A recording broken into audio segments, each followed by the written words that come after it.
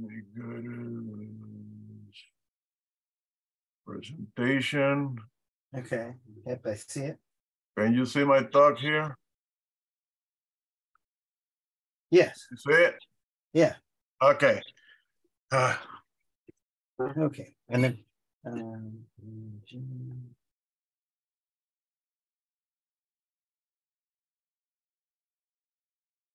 Okay, well, I guess ready when you are.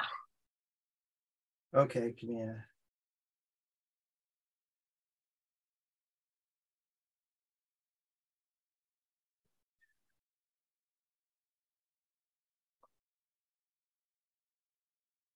How, Okay, how much yeah. time do we have, Frank?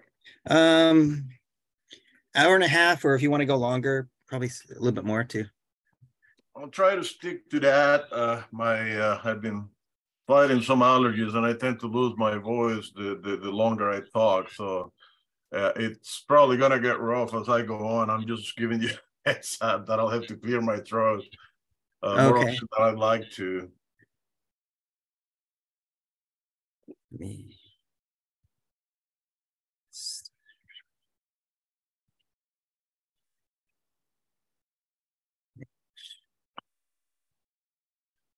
Okay, Okay, here we yeah. are. I'm, I'm going to, uh, Yeah. just kind of open my camera for a few minutes and then I'm gonna shut it down. I, I'm afraid my computer may, uh,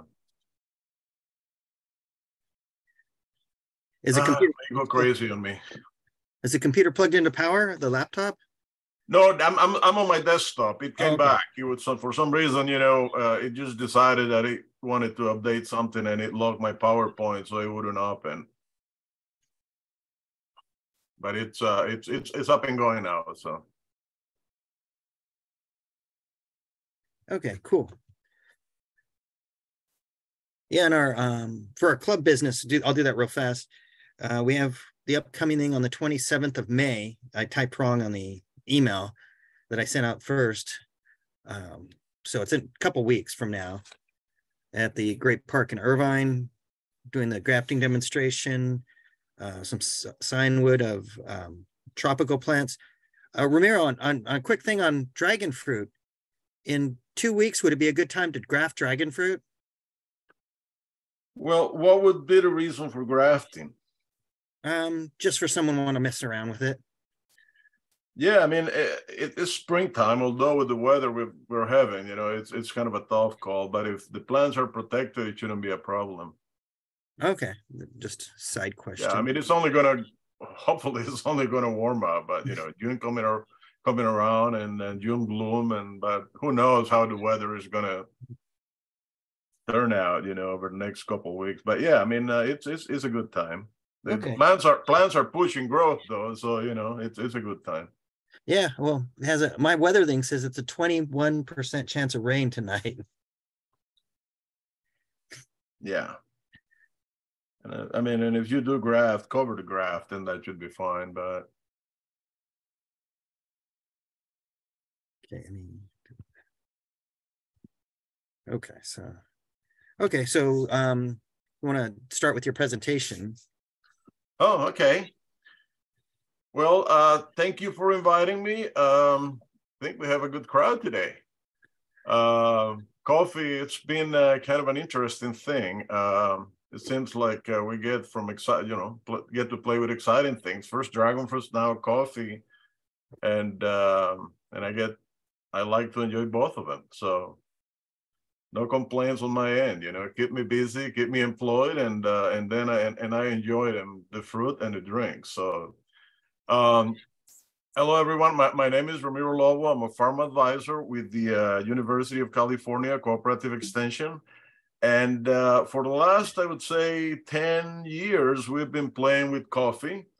And um a lot of what we've done with coffee, at least, you know, taking care of the plants and uh, at, at the field research station, it's uh, mainly due to, you know, thankful to Tony Pacheco, who's been a a volunteer and and really he's uh, got a the magic touch for a coffee plant and propagation. So we've been working on this together for for long and uh, also collaborating with some folks at uh, Cal Poly Pomona We're, uh, I'll talk a little bit about some of the research we've done in collaboration with them and uh, some local growers in San Diego, Scott Murray. Uh, it's been uh, a good collaborator and we'll we are, have a few projects that are going to be starting uh, over the next few uh, weeks with some uh, newer varieties that we've gotten seeds for.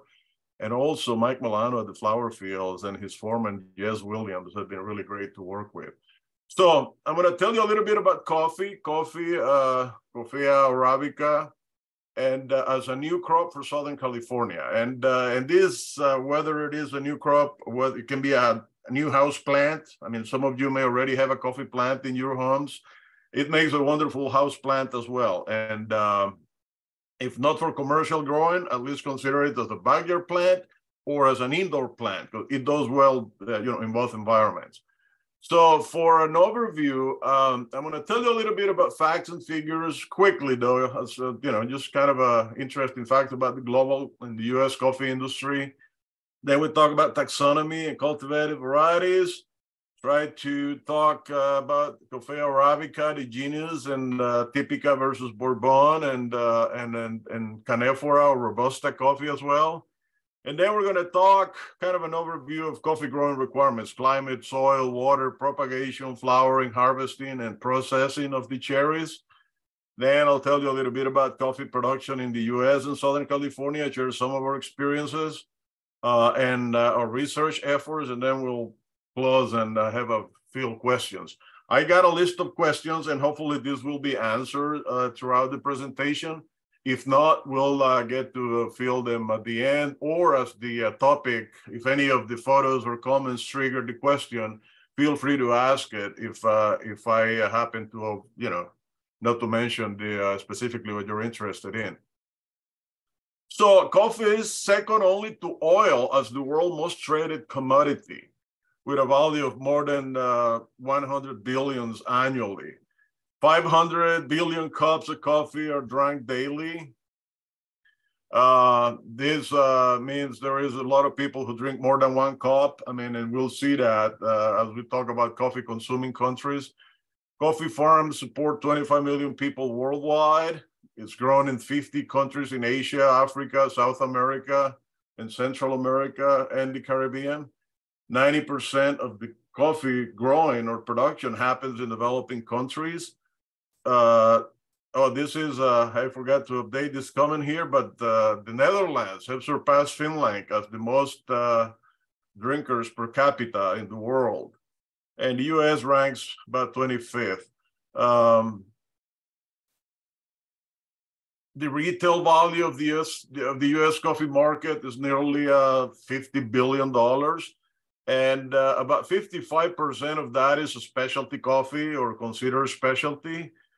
Uh, I would say that about 48% of US coffee cups are perceived by consumers as being specialty coffee, meaning that uh, they buy coffee at coffee shops and not necessarily at uh, some of the, uh, you know, convenience store like gas stations or, or places like that. daily consumption um, seems steady at 35% but it's uh, somewhat declining in favor of other beverages between 20, in the ages 25 to 39. Uh, the U.S. Uh, the U.S. is the single largest buyer of coffee. We buy about 20, uh, 28 million bags, and these are 60 kilogram bags uh, in 2014, and the number remains about the same. Uh, over half of Americans over 18 drink coffee daily, and uh, and we average about three and a half cups a day. Oh, sorry, cups a day, and uh, does uh, it provides 75% of our caffeine. So no decaf. The producing regions, uh, coffee is grown in the tropical belt, as you can see, uh, and and and that um, range uh, is expanding uh, mainly because of global warming. Uh, as you can see within the continental, U- I mean, within the U.S., we got South, South Florida, where the uh, climate is somewhat conducive to coffee, and and Hawaii, which is primarily where coffee is grown in the U.S. And just about the southern tip of California is included in that range, and and that's why we're seeing coffee uh, grown here uh, in the U.S. Although you know it is, uh, we face significant challenges. Is this here for growing coffee? Top producing countries: Brazil is by far the king of coffee growing, uh, uh, followed by Vietnam, then Colombia, and uh, and Indonesia. then Ethiopia is fifth, and uh, and uh, Honduras comes in, which, by the way, I'm from Honduras, uh, comes in at 6.1 million sacks. And uh, then Uganda. The, the interesting thing, though, is that uh, Brazil produces a significant amount of uh, Robusta coffee, not only Arabica. So that is sort of a mis- misleading figure there. Not all of it is Arabica. Uh, the, Vietnam is primarily Robusta, and so is Indonesia. And uh, all the other countries like uh, Colombia and uh, Ethiopia, Honduras, and, and, and all the other countries listed grow primarily um, Arabica coffees. And these are high ground, uh, th- these are grown at higher elevation. For the most part, uh, a lot of coffee grown under shade uh, except for Colombia, that they in Brazil that the Arabica coffee is grown in full sun, relatively flatter and uh, lower elevations in Brazil, but not so in, in Colombia, where they grow at higher elevation, but, but in full sun. And uh, the other interesting thing is they say, talking to coffee experts, they say that the range of coffee or the altitude at which you can grow coffee because of climate change, it uh, it increases about 50 meters every 10 years.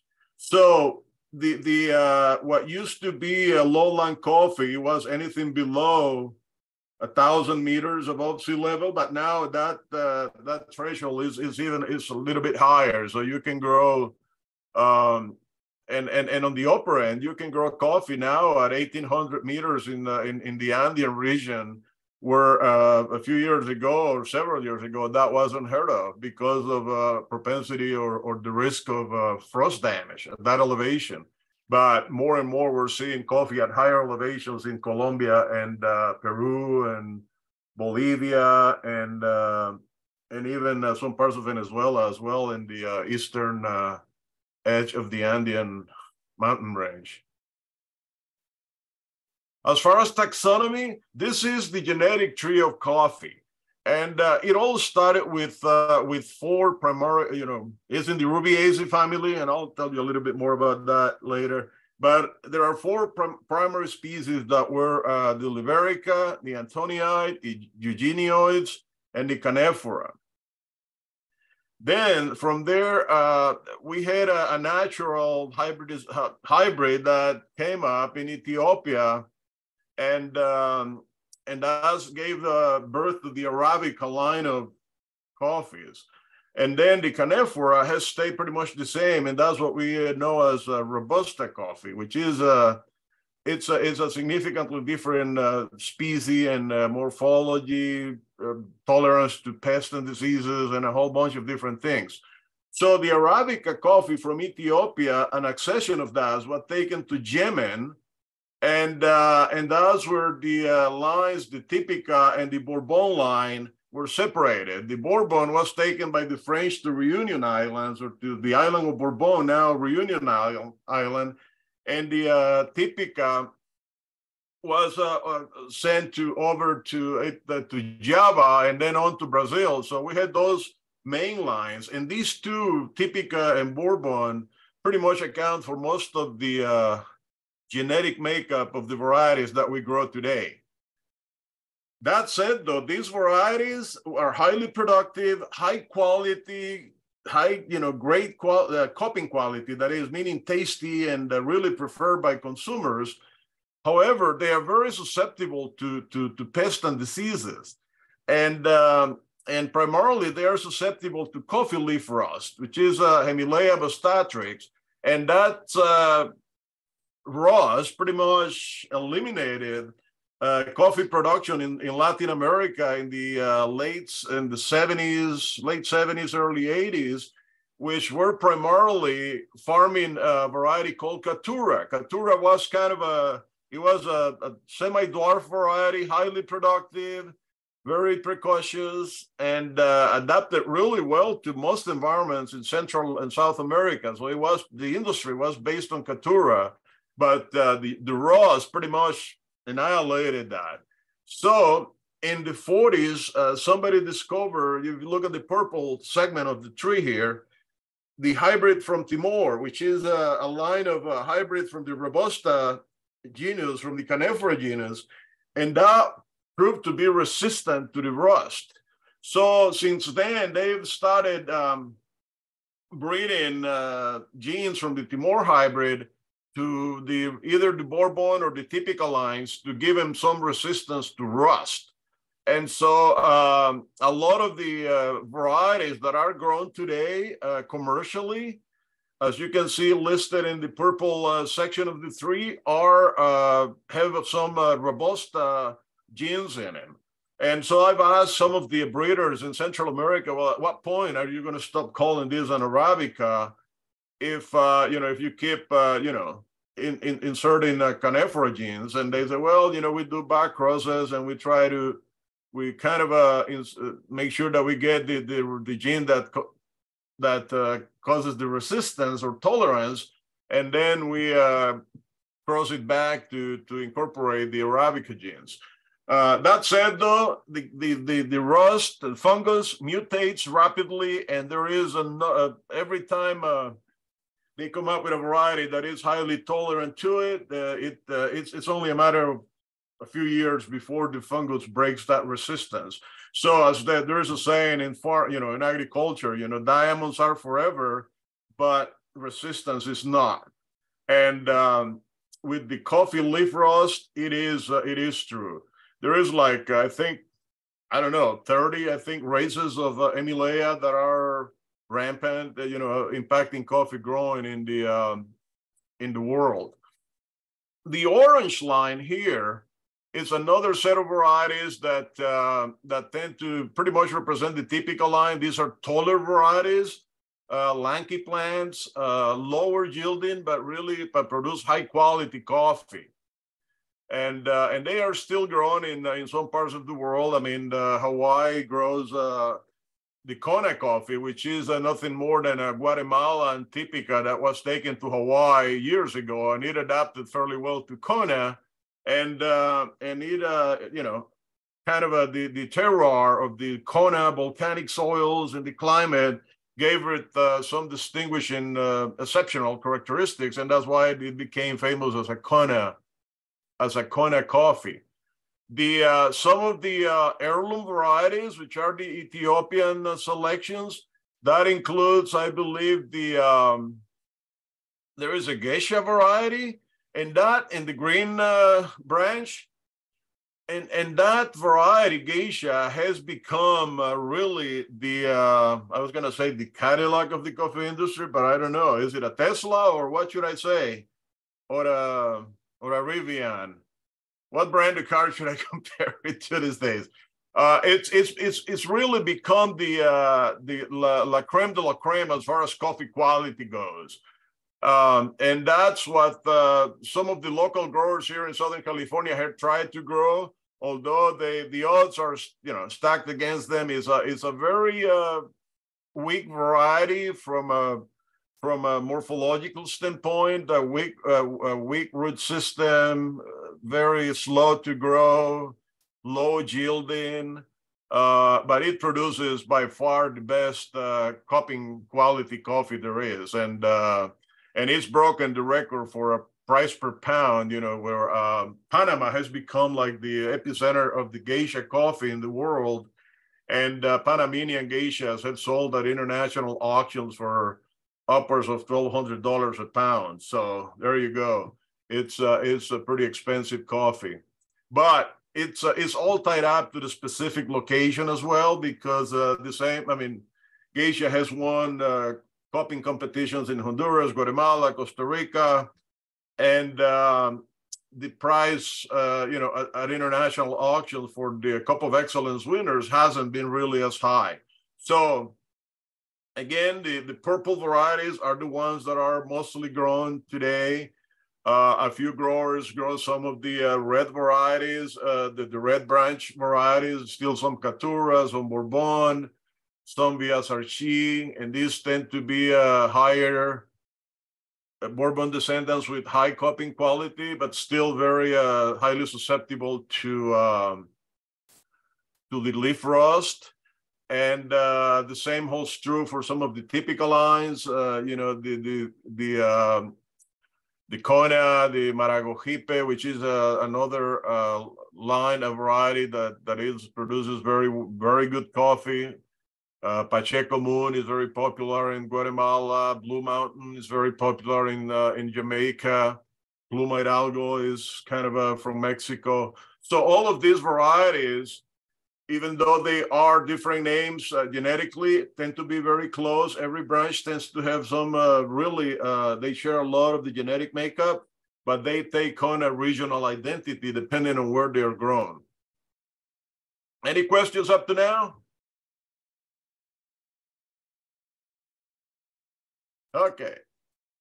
So family Rubiaceae, it's the, the same as coffee or madder family. There is about 450 genera, 6,500 species worldwide. Uh, plants have simple undivided leaves, opposite usually uh, of each other, perpendicular to each other, and um, and there's usually a, a, a, bud or a shoot in uh, in every uh, pair of leaves there is clusters of uh, actually clusters of shoots or buds. And uh, one of the challenges that we face here in San Diego is that, and I'll mention that later on, but since talking about the, the, the leaves and the buds, uh, the challenge is that our plants, because of environmental factors, they are they get confused, and oftentimes they don't know.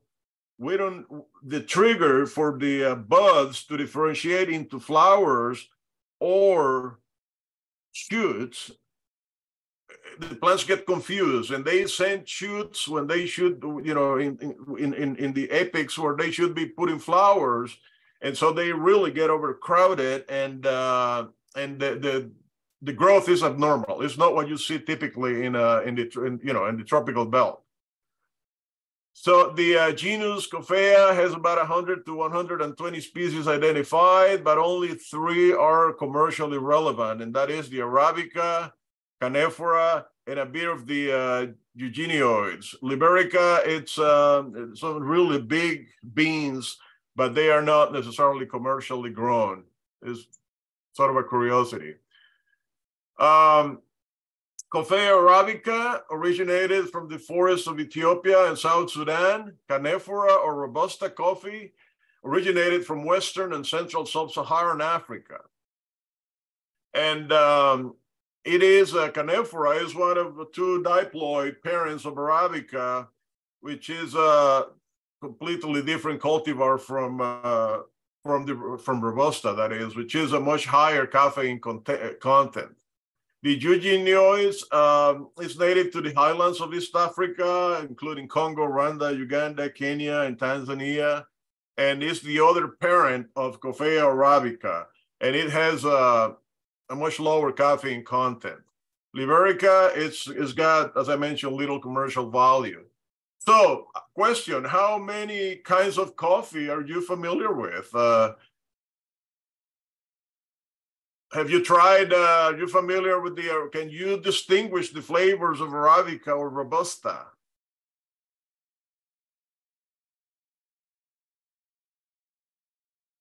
Are you there? Yeah, I'm here. You, we should ask you to show your camera so that we see who's participating. Oh, okay. I've tried several varieties and unfortunately I can't tell the difference. They taste really good though. All right. Can you distinguish between a Robusta and an Arabica?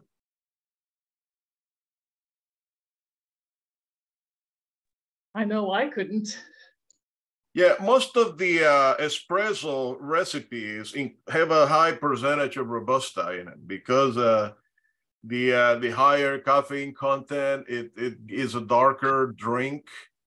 The um, uh, tartar bitter. I mean, they describe the robusta taste as a burnt rubber sometimes, and which is, I mean, I, have never tried or tasted burnt rubber, but but it doesn't sound appealing. But it does. Uh, the higher caffeine content makes it, you know, uh, give it some bitterness. But some of the main differences between arabica and robusta is the taste.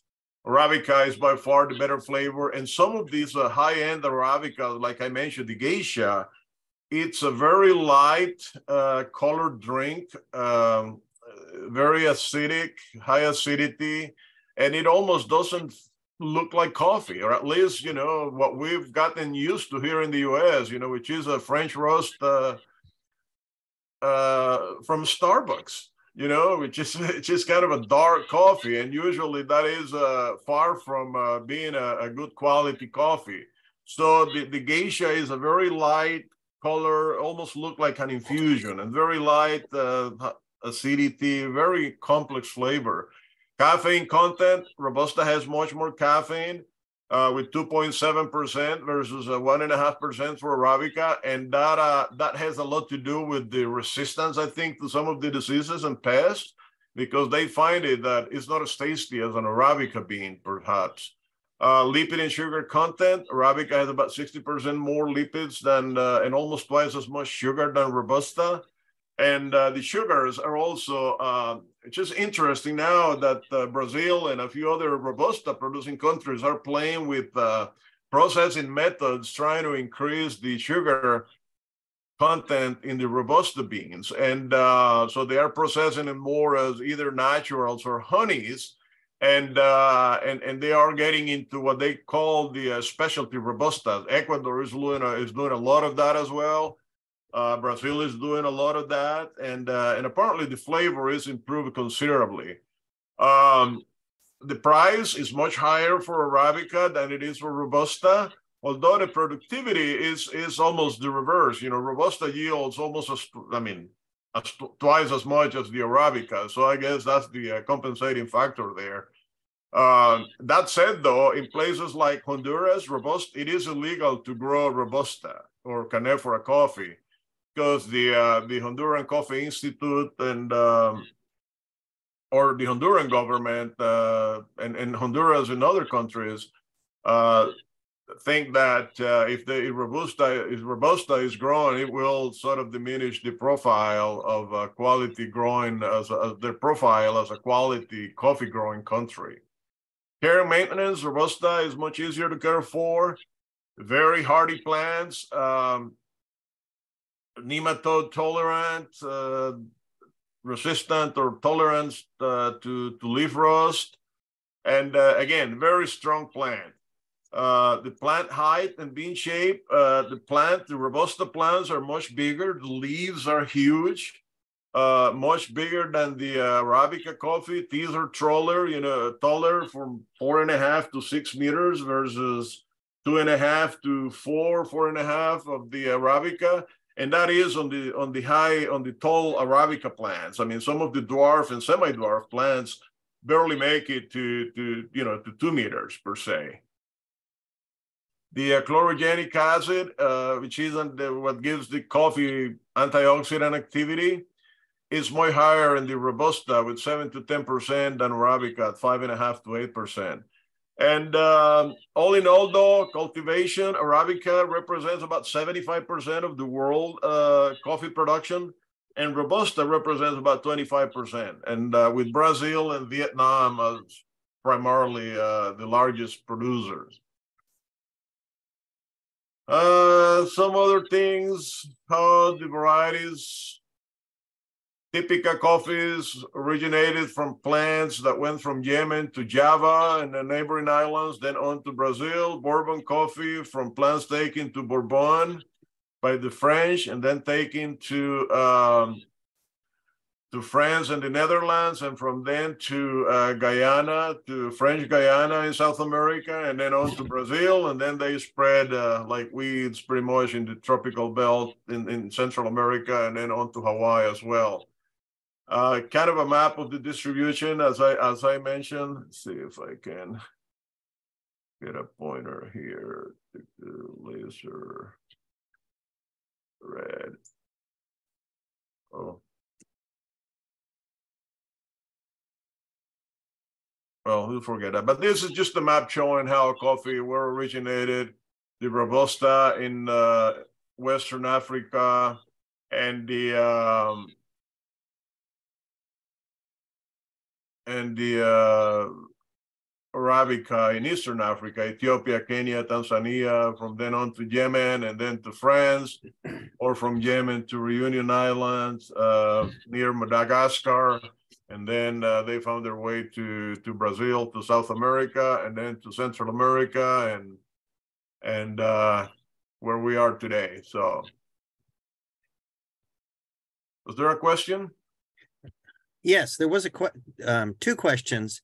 One was um, why is the coffee in the U.S. so bitter? Or it's say it's they mean it's saying sour and bitter, and then um, somebody is not sure which plant they have. They have a coffee plant, but they don't know which type it is.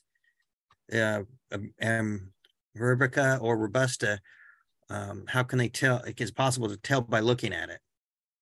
Yeah, uh, it, between a, uh, an Arabica and Robusta, it is uh, it is fairly easy. A Robusta plant, it's it's uh, it blows you away, you know, with how big the leaves are, and the leaves, in, in addition to being big, they have ribs.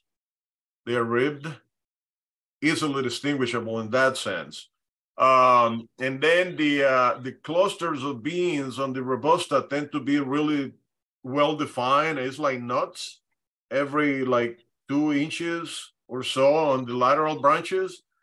But uh, but other than that, but yeah, I mean, uh, if uh, if if I saw a picture, I could tell you if it is a robusta or or a or you know or arabica.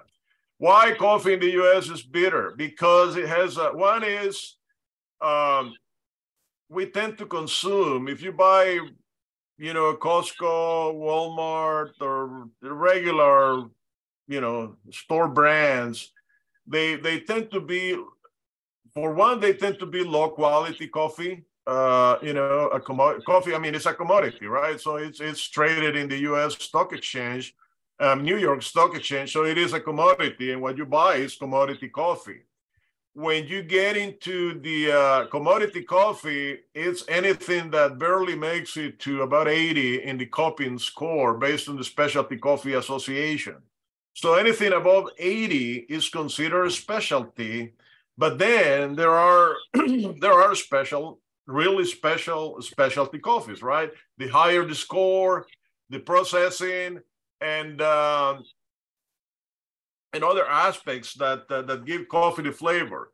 So realistically speaking, though, with coffee, you can mess up the quality at various points. One is you start with the wrong genetics, right? The wrong variety that doesn't give you a good quality coffee.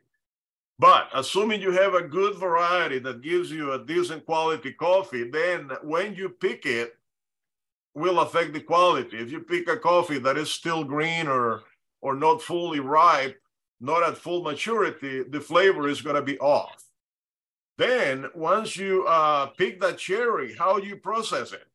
You know whether you you process it as a as a as a wash method you know meaning that you pulp it ferment it and then wash the mucilage off or you process it as a natural and we'll talk more about this later on in the presentation or you process it as a natural where you dry the cherries as they come off the plants or an intermediate step which is a honey processing where you remove the rind remove the skin but do not ferment it or remove the mucilage. So you dry it with the mucilage on, and that will affect the flavor, the flavor profile.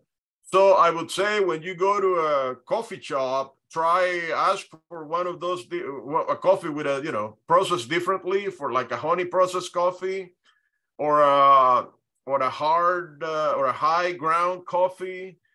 Um, a super hard bean, which is another designation for good quality coffee because it, it, it, talks about the density of the bean, which is typically associated with higher elevations.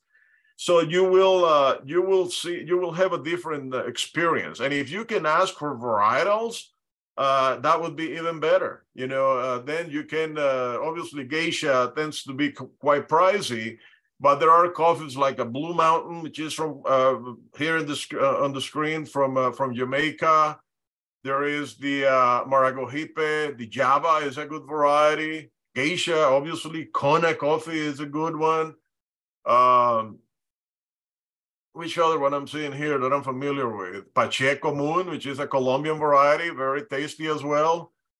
Villalobos, and then on the bourbon lines, I mean, just about every variety here, it's uh tend to have really good tasting, a good cupping quality. The uh, SL 28, 24, the Tekisic, the Azarchi, Pacas, Pacamara is sort of the uh, second to Geisha in terms of winning a Cup of Excellence competition in Central America. It's won several times in El Salvador, and so has Pacas. And uh, same applies uh, to Bourbon, any of the Bourbon lines. So all of these have uh, are are not as uh, dark. And then the other thing with coffee, you end up with you do your best at processing the coffee, end up with your green coffee, which is what you roast, but then you roast it too dark, and then you mess it up. I mean, no matter what you did at that point, if you if you went too dark on the roast, then uh, you ruin that coffee because you burn all the sugars and bring out all the oils in that bean, and uh, and it will uh, pretty much make it uh, acidic, uh, but but in a bad sense, and uh, and and and some bitterness because it'll be burned. So it all these different things, and then you can also talk about the extraction method, how you extracted the coffee, how you you brew it, you know it, it makes a difference whether you use a percolator or a, or a French press or a, uh, or a V60 or a, any other you know pour over type methods, which seems to produce a higher quality, better tasting uh, coffee drinks. And then the typical Bourbon crosses, some of the uh, Mundo Novo is a good variety, Acaia, Catuai, Maracaturra, so all of these, uh, I mean, there is a whole bunch. It's, this is like what happens with dragon fruit. You know, what everybody who got a plant decided to give her a name, I guess, and uh, and that's why we have so many varieties. Genetically, though, they they tend to be uh, quite closely related. So the Timor hybrid, if you can see the picture here, this is uh, the the the the the, uh, the representative of the robusta line uh, you can see the leaves, how they are correct for it. They have like ribs. They have like, uh, I don't know if it's visible well enough here, and I cannot max, you know, I was trying to maximize the picture, I'm sorry. but uh, it's, it's, uh, the plants tend to be more uh, vigorous, bigger, robust. And that's, I guess, why they call it robusta, because it is a, is a bigger plant. It's, uh, it's coffee on steroids. Okay, the Timor hybrid is a naturally occurring cross between Canephora and Arabica that happens in the island of Timor in Southeast Asia. Uh, these are known as Arabusta hybrids, and they were natural res uh, resistance to leaf rust. And uh, and again, you know, they started to become popular in the 50s as a source of uh, genes to, to, to insert tolerance to leaf rust in some of the Arabica lines.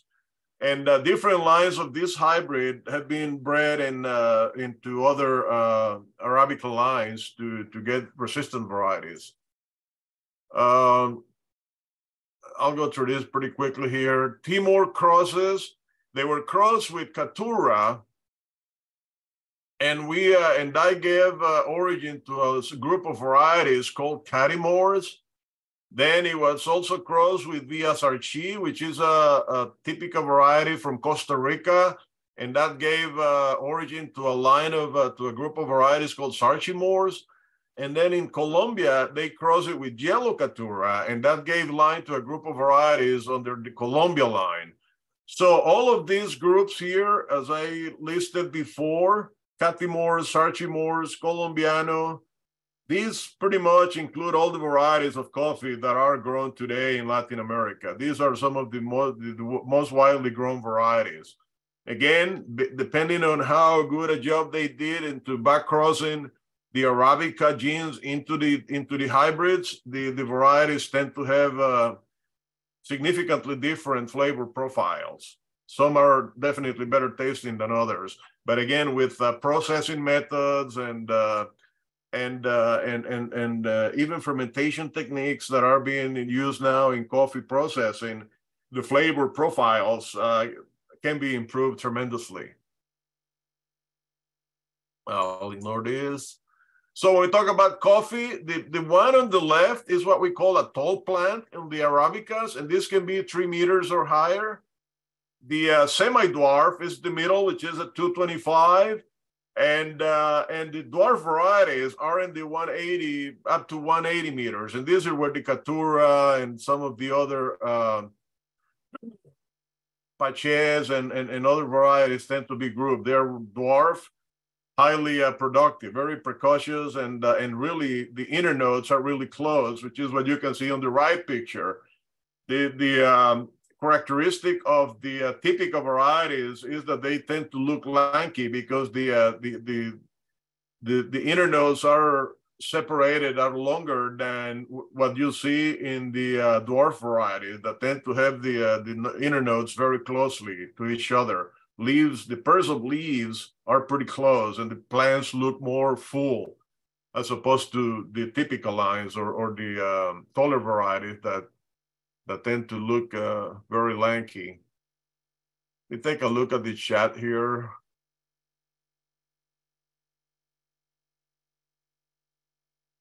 Robusta dominant country.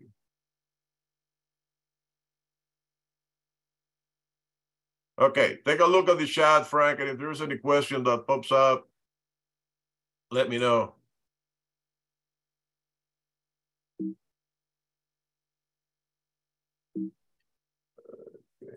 So what, what I have here is a listing of varieties. If you want to read about coffee varieties, I recommend that you go to the all this information on the right. Uh, this chart here came from uh, Google World Coffee Research and they have a catalog of varieties that uh, available for download. You can download or you can read online, and uh, it tells you all about the different varieties of coffee there are. No, not all of them, but most of them that are grown in Latin America or worldwide.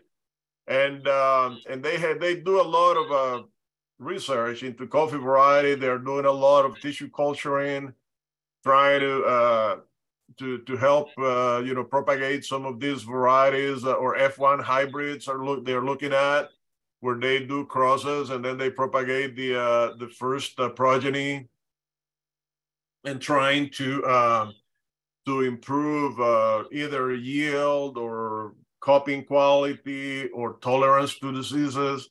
And um, but because of uh, they are F1 they tend to be very unstable over time. So the only way to to to address that is by tissue culturing, by propag, you know, by vegetative vegetative propagation. And so they are doing a lot of research into uh, tissue culture in some of the uh, these F1 hybrids, and they have trials going with collaborating countries pretty much all over the world. One of the challenges, though, is that um, they struggle with. Uh, there's been a struggle with tissue culture. Is that the uh, depending on where the uh, the uh, the shoot is uh, is taken, uh, the plants sometimes don't show this uh, apical growth, and, and they tend to be like spreading low, and uh, and the root system is sometimes weaker as well than uh, than a seedling, because they don't have a tap root. So you have a very fibrous, shallow root systems, and the plants that don't grow vertical, they tend to grow sideways. So they uh, they realize that they gotta have uh, propagate the apical meristem so that they have that orthotropic growth. So I'll go quickly through this variety, Typica Arabico from Ethiopia. Bourbon, I mean, there is red Bourbon, there is yellow Bourbon, there is pink Bourbon, and there is a number of other lines. Robusta, which is the one from Ethiopia. Oh, there, here is a better picture of the leaves perhaps this will help uh, the person with the question about being able to distinguish them. And like I mentioned, the the, the clusters of, of beans are pretty close and well defined. I mean, it's really tight. Catuai is a variety from Brazil, very uh, productive and uh, good quality Pacamara from El Salvador. Caturra from Brazil as well. Excuse me just a sec here. IHCAFE 90 or 90, that's a, a Catimor selection uh, developed uh, in Honduras or established in Honduras. This is another variety from Honduras.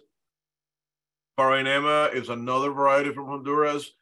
This variety is in the Sarchimor group, and uh, characteristic is that it has a higher tolerance to nematodes and much better cupping quality than some of the other Catimors uh, that I mentioned.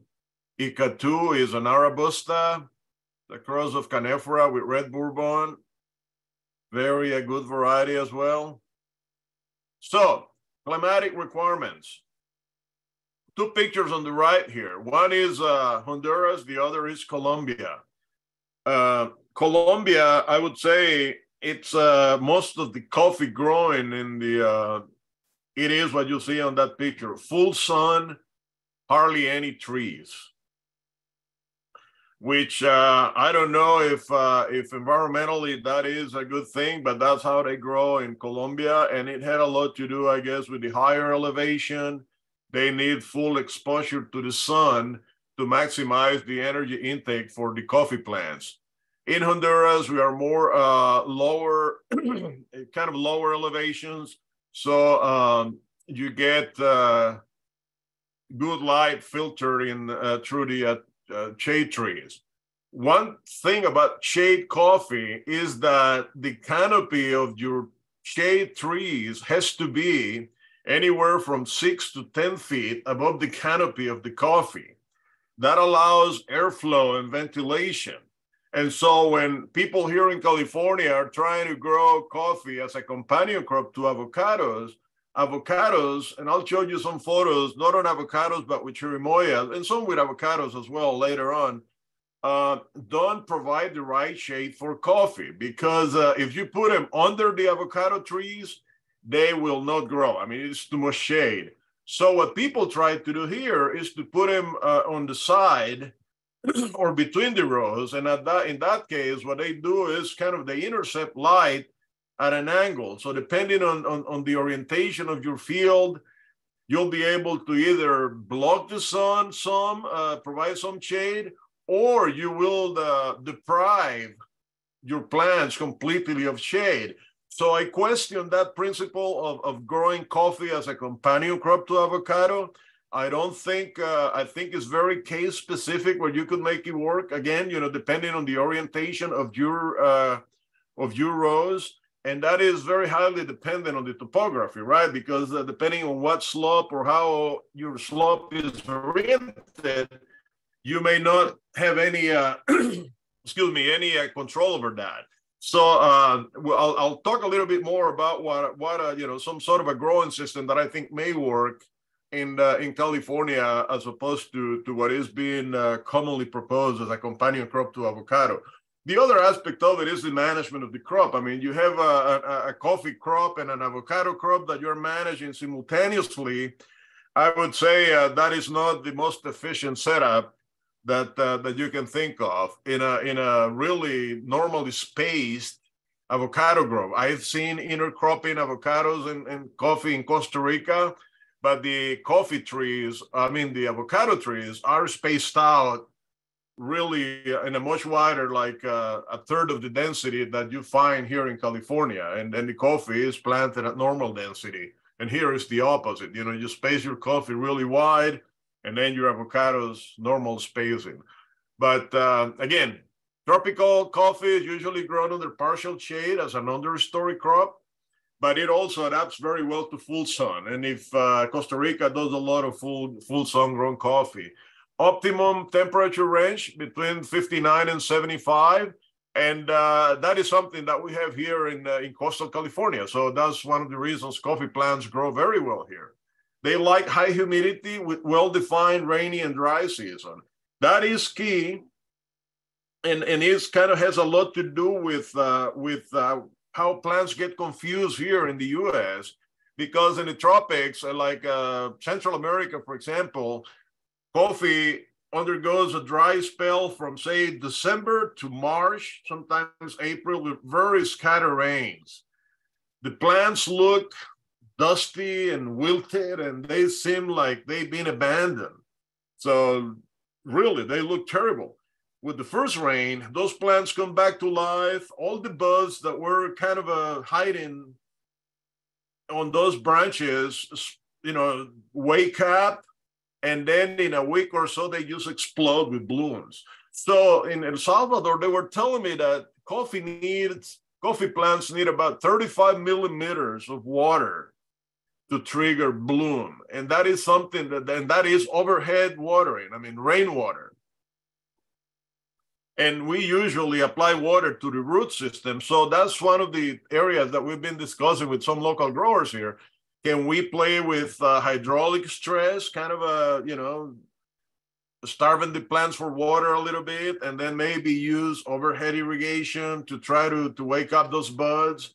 Uh, and that is also, that was also mentioned in Hawaii, where they drip irrigate their, uh, the Kauai Coffee Company, they drip irrigate their plants, but during the onset of bloom, they they go over, I think, and they give them a, an overhead irrigation if they don't get any rain during that time of year, just to, to wake up the buds into flowers.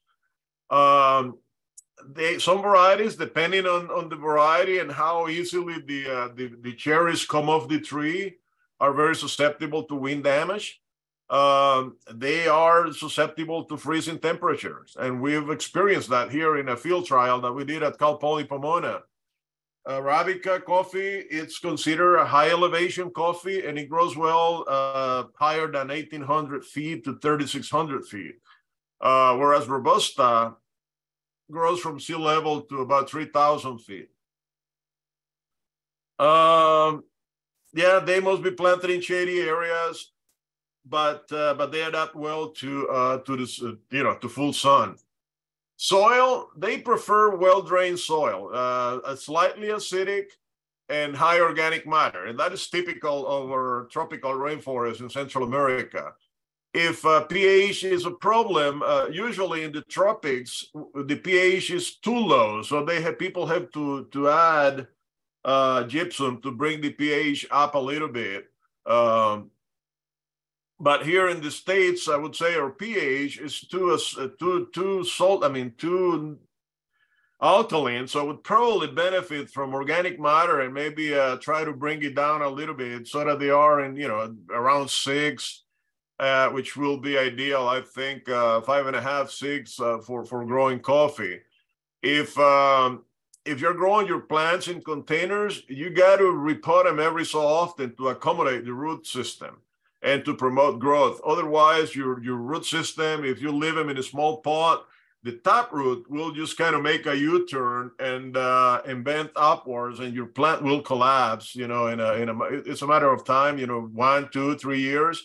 But as, as the plant grows and start blooming and fruiting, they will just die. Uh, an azalea mix or acid-loving plant mix could be used but again, you know, we gotta amend it uh, with organic matter or perlite to improve drainage and porosity and keep an eye on the pH, uh, kind of keep it around six, six and a half, uh, slightly uh, on the acidic side. Watering, we play with coffee, but we don't really know, as I, as I mentioned a few minutes ago, we don't really know how much water they uh, they need. We tend to, I would say, if you ask me, we tend to overwater them um, and that we could reduce the amount of water or at least alter the timing of the irrigation pattern you know try to reduce water to mimic what happens in the native in their native habitat in the tropics and then try to play with uh, with the water uh, combination of drip versus overhead and try to, to get them to bloom and get a, a kind of a, a compact bloom season or blooming cycle that will reduce the uh, that will concentrate production and will have a really beneficial impact on labor costs because you otherwise you have like green coffee flowers and ripe coffee on the plants at all times.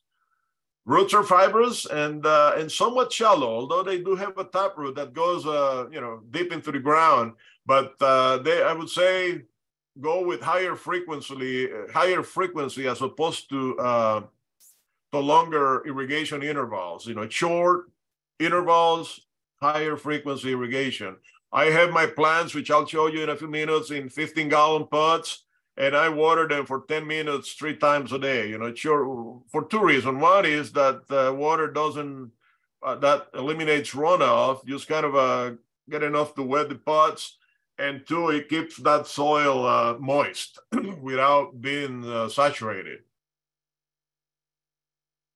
Watering should be reduced to a minimum in the winter. And, and again, this is something that more research is needed, and hopefully we'll fine tune that to so that we uh, were able to, to, to generate a good bloom, a, a compact bloom, and uh, which will give the, because uh, the other problem we're seeing here in, in Southern California is that typically the, rate, uh, the, the, the ratio of cherries to green coffee to finish roasting ready green coffee is five pounds of cherries to one pound of green coffee. That is very average in, in Central America. Here in California, we're seeing about 10 pounds of cherries to one pound of coffee, meaning that we have a lot of cherries that don't have any beans in them or have uh, uh, uh, beans that are not full. So the density of the bean is really low and uh, therefore they get eliminated when you float the cherries. You know, floating meaning you dump, you sink your coffee cher- your cherries in a, in water, and then everything that floats means that is an empty shell, empty cherry. So you don't you you kind of discard those, and that's why the ratio of of uh, cherries to green beans is pretty high. And we need to really bring that number down because it is very inefficient uh, the, at that rate. At that rate. The other thing is like tomatoes, coffee plants will tell you when they need water. Uh, although they don't, you know, they will not necessarily drop the leaves unless it is severe, you know, exposure to drought.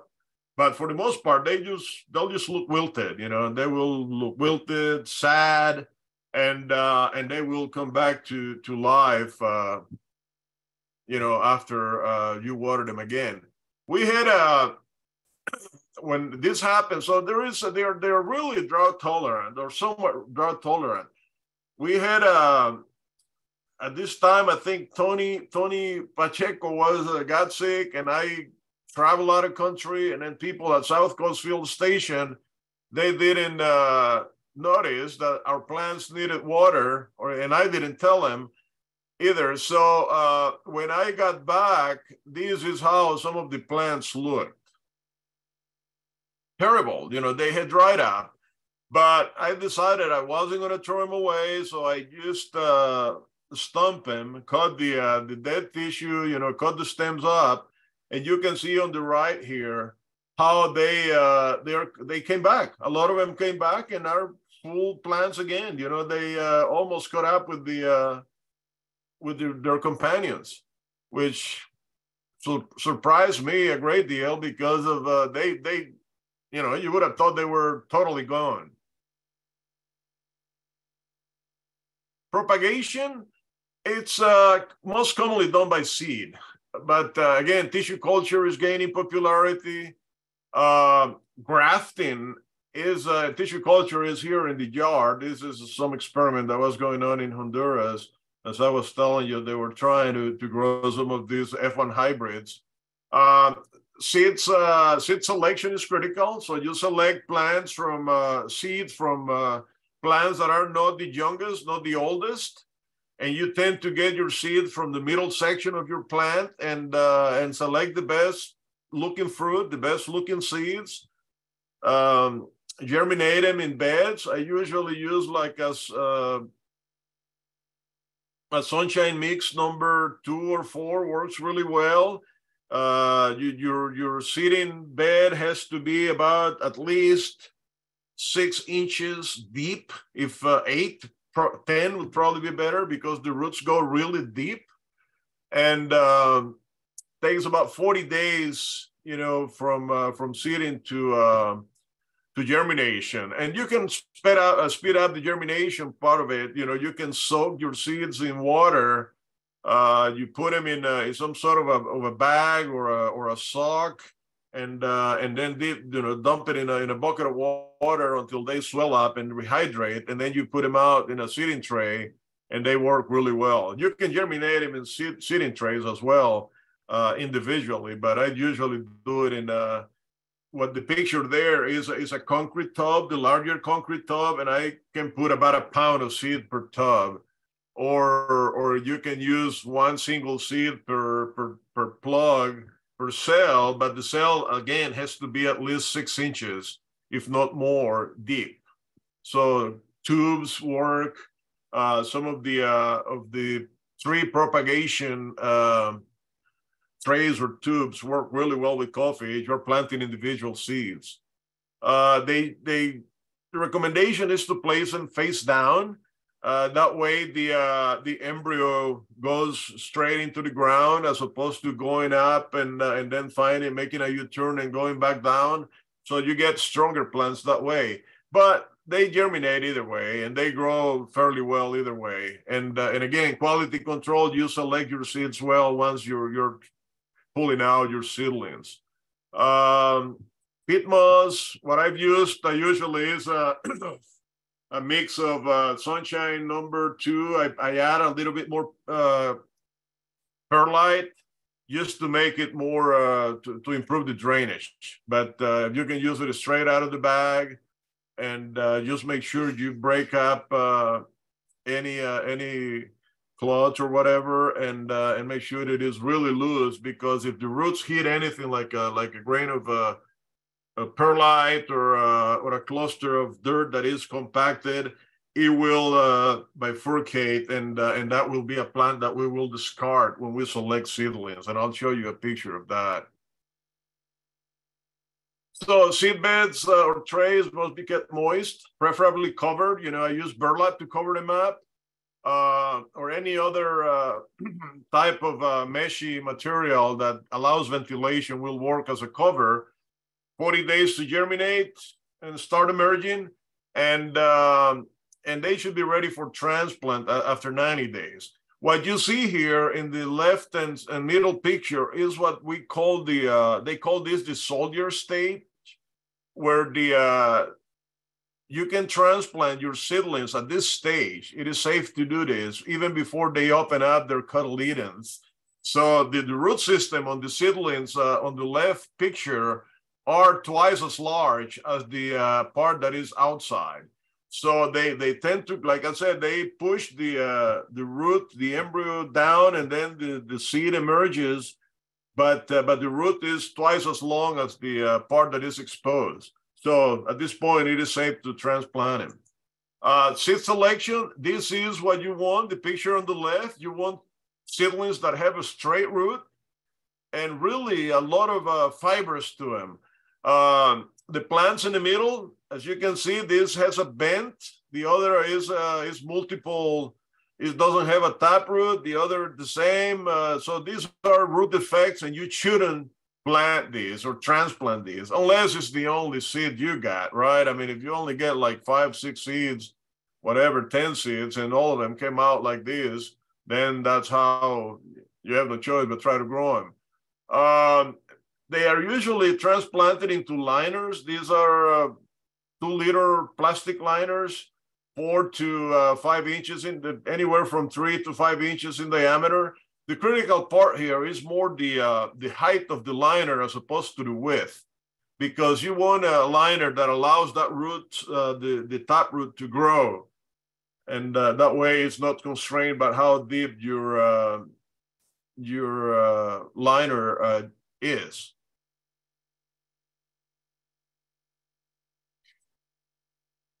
to, to think we talked about this. Oh, I'm sorry. Talked about these. Oh, I'm going backwards. Sorry. So, growing your nursery plants. Uh, this is something that uh, we wanted to fine tune and the main reason it was one of the goals of our project because we wanted to to to to be able to produce coffee plants that good coffee plants and uh, to, to show growers how to do it because the, the price of coffee plants if you wanted to get started with coffee as a grower uh, it's pretty high you know you're looking uh, anywhere from i think the going rate uh, I, I haven't really I don't know if, uh, but I think it's about twenty five dollars a plant. A plant, any uh, for a, for a one gallon, I believe, tall a tall pot, uh, and that is pretty pricey. I mean, if you're looking at uh, typical coffee planting density, if if you're doing it commercially, uh, you know, a three by three feet by a three by six then that's about 2,000 plants per acre times 25. That gets pretty pricey, right? Um, and if you're buying them for your own, uh, for as, as for as a house plant, then still, you know, that's pretty pricey for a very small plant. So if you get coffee seeds, uh, and if there's any interest, I got seeds from a few varieties that, you know, if anybody wanted to play with coffee, germinating them, I'll be more than happy to accommodate, you know, five, ten seeds per per person or so. And uh, and we also have plans that we make available um, in exchange for uh, somewhat of a donation to our coffee research fund, which is largely unfunded.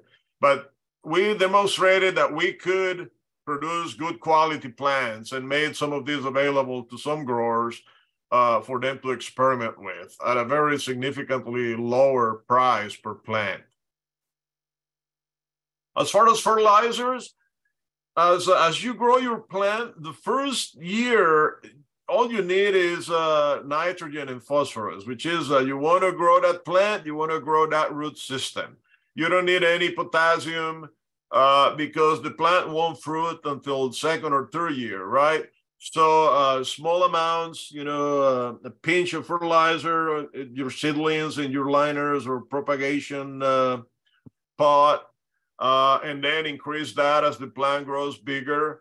As once they are mature, then you want to have a full formula NPK, but you want to have more um, nitrogen and phosphorus that and phosphorus then potassium. You want some micronutrients that are critical for bloom, like boron, calcium, magnesium.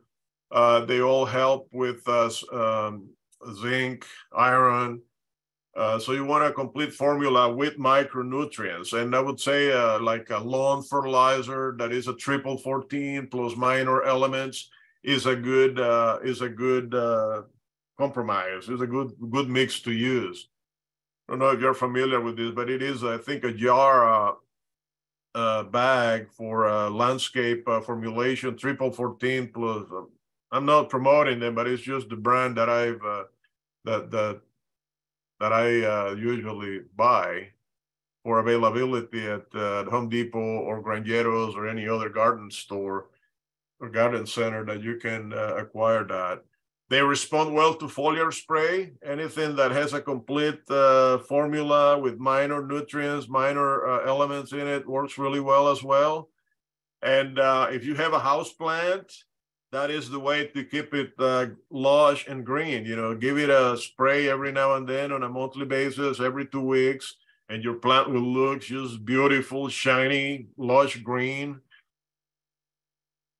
Flowers, uh, they are small and uh, cluster around the uh, the axis of the leaves. They have five white petals, and the flower will different. They differ depending on the variety some of the uh, the dwarf or semi-dwarf varieties will have a shorter petals as opposed to the typica or the tall varieties. Geisha, typica will have a very long uh, petals. And um, according to the literature, uh, about 90% of the flowers are pollinated by the time they open. So they are largely self-fertile, self-pollinating and uh, but still there is a 10% variability and that's what's given origin to uh, to some of the uh, hybrids or selections that have been have, that have become varieties over the years so uh, once the uh, the flowers uh, bloom and open, it takes about nine to eleven months from bloom to harvest, typically in Central America.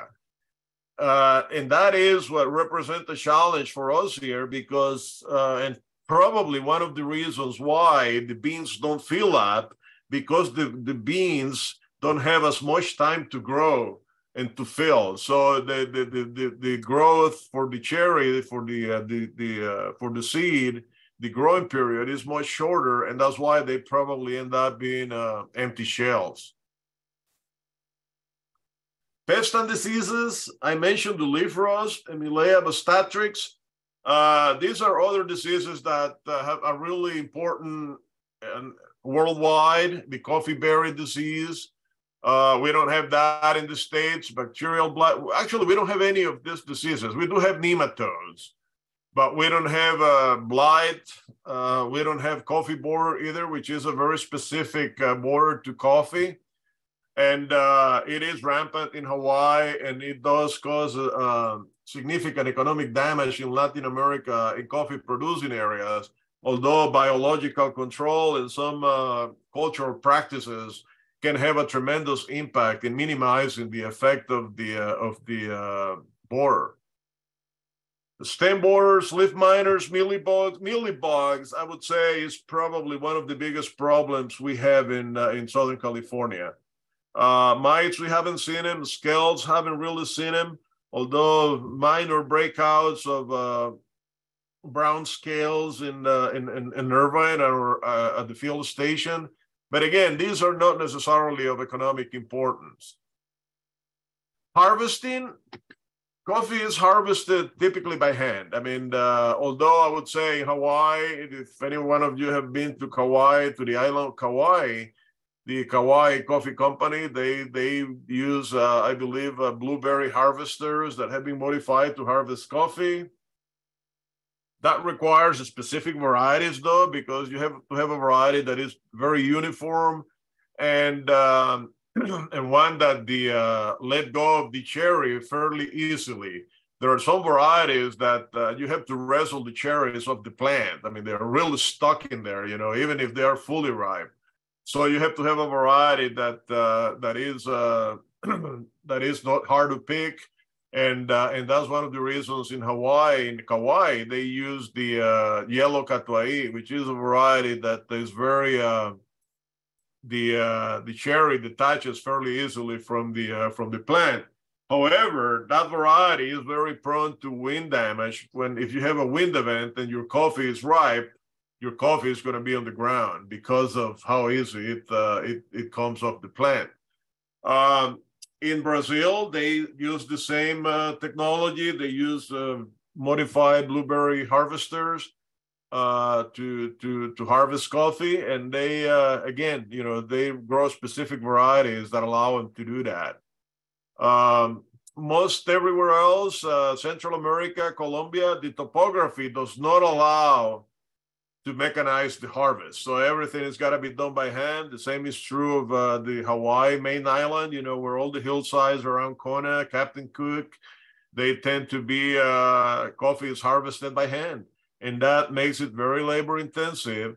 The other thing is in Kona, it, and, and, it's true here as well, you have coffee that is, uh, you have green coffee and ripe coffee, and sometimes even flowers on the plants at the same time. So the seasonality of the coffee is not really well defined. Your bloom is not well defined, and therefore your your your ripening cycle is and harvesting is not well defined as well either. The pictures on the right are uh, is a harvest uh, at uh, at the flower fields in Carlsbad. Grower Mike Mellano, he's got a, about an acre plot of coffee there in full production now. And uh, what you see here in the red cherries, that is what they go for. They they are trying to to they uh, emphasize quality, so they are harvesting really the fully ripe coffee, you don't see any coffee that is a partially ripe. Well, a few that show shades of yellow. You don't want that if you want to have good quality coffee. So it, it probably it could improve that and have a fully ripe uh, cherries in there. And uh, but they do leave a lot of coffee either on the ground or, or discard because of, of their emphasis on quality, which is what the company that that they process their coffee with, Frinj, emphasizes. They they are shooting for higher, extremely high quality coffee, but again, they are uh, sacrificing some uh, coffee that uh, that may still be uh, marketable. Processing the cherries, there are primarily three methods. Once you pick the cherries that are fully ripe, ideally, you can uh, the, the the oldest method, which is how they used to do it in Africa, and uh, and as a matter of fact, some of the beds that they use for drying coffee are called African beds. It's what we call the uh, a dry or a natural process, where you use pretty much harvest the cherries, as you can see in the uh, in the tray uh, in the slide before, or you can see the fruit on this plant, and you can rinse them. You can you can wash them to eliminate floats, or rinse them to eliminate uh, dry coffee or any debris that might have gotten into your harvesting um, container. And then you just lay them out to dry in the sun with the skin on. You don't do anything but pick them, rinse them, and then lay them out to dry.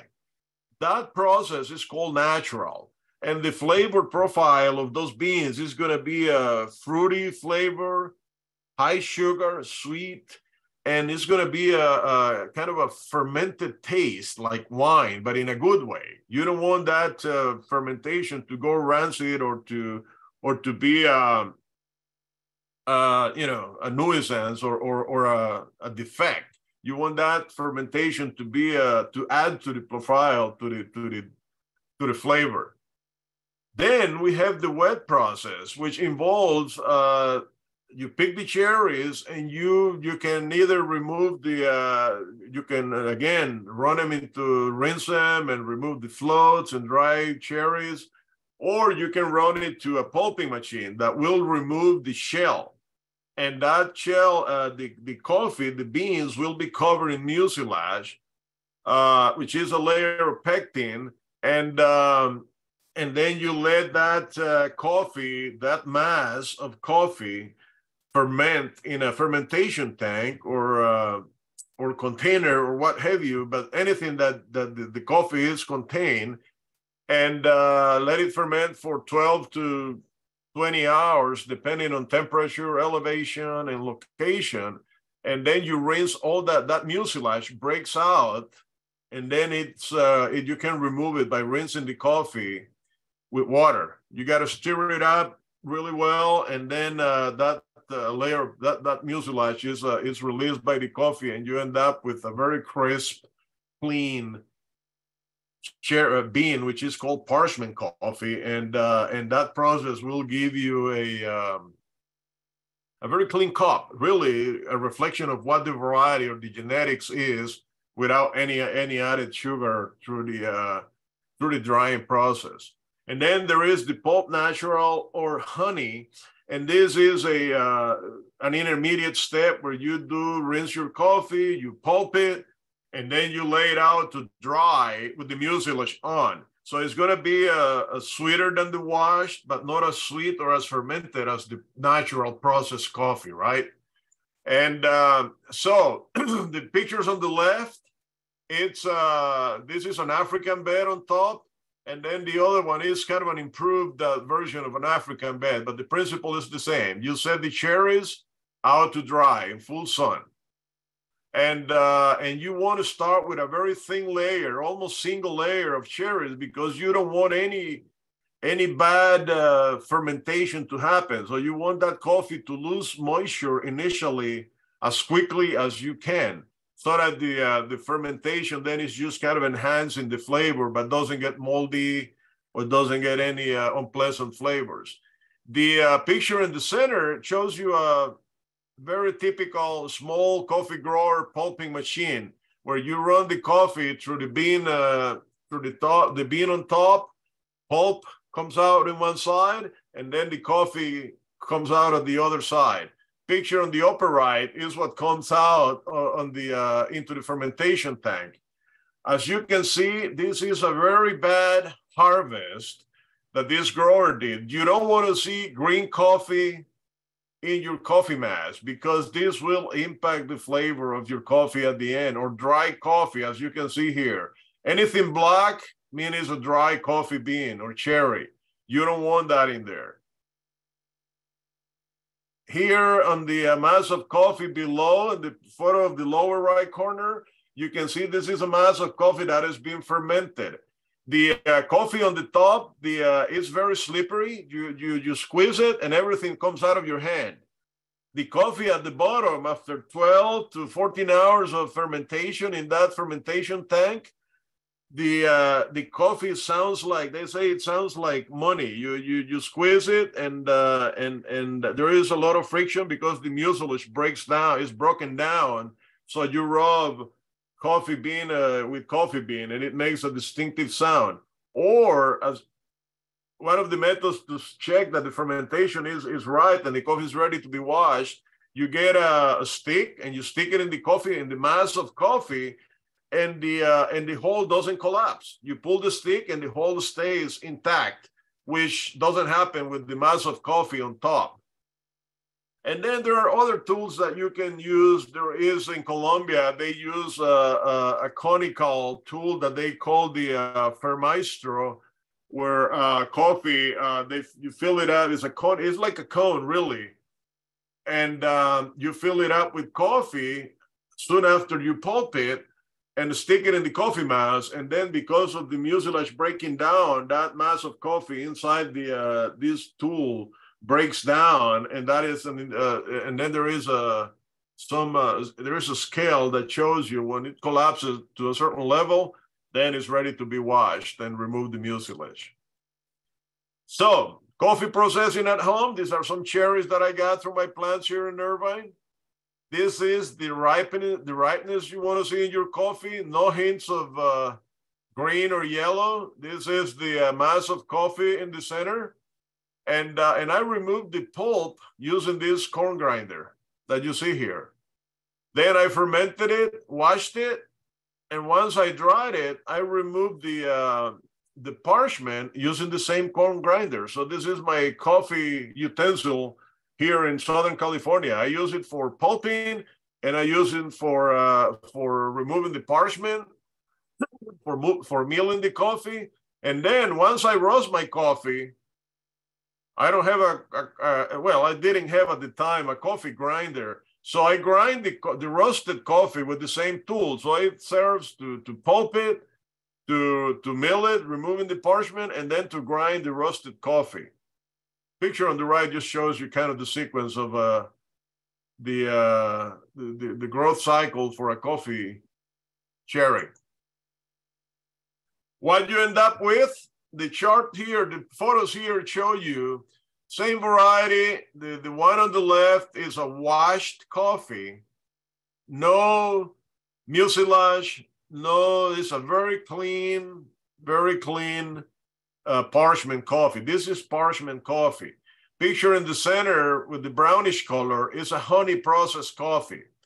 And the uh, coloration comes from the sugar that was coating the coffee, the coffee beans drying up, and so you end up with that uh, molasses, almost like molasses look to it, and that's what uh, what gives it that color. So there is a lot of sugar that has kind of a permeated into the uh, coffee bean. And the one on the right, uh, or the third photo from the left, it's a natural processed coffee, meaning that uh, it's dry with the rind. All of these you have to mill and remove the, the outer skin layers to get the green coffee, which is what you end up roasting.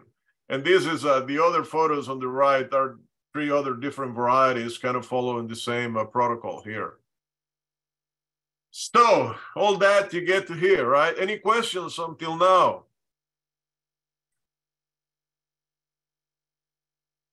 Yeah, I got a question about the leaves what causes the brown spot on them on the lower leaves? Is it a is it a uh, humidity issue? It's a, it's salt. Gotcha. Yeah, the pH of the water is pretty high, and uh, we see a little bit of a salt burn on the edges of the leaves. Yeah, it's only on the older ones. I'm sorry. It always happens on the lower leaves of the plant. Correct. As they get older, they tend to do that. Okay, They, it tends to show more on the older leaves. right. I have three growing in the window. They get the morning sun and then I, I have uh LED lights on them for four hours and they're doing really good. Um, they're two and a half feet tall and I spray them with worm tea and uh, it seems to keep all the bugs off of them. That sounds great. So, Yeah, don't uh, don't make sure if you're growing by a window, make sure that they don't get heat directly by by because the the glass windows tend to act like a magnifier. Like yeah, uh, it's uh, there. There's a great, great big grapefruit tree in front of the window, so they're getting okay, so it does uh, filter light. Yeah, because Yeah. if you put them in direct sunlight uh, through a window, they they'll get burned. So it's better to put them to one Right. side of the window so the sun doesn't hit them straight. Another thing I did was I, I got containers underneath the pots with gravel in them and I keep them full of water so to help with the humidity. So, uh, you know, and it seems to be working, but I think I'm gonna get a humidifier and put in there. Maybe that'll help them better.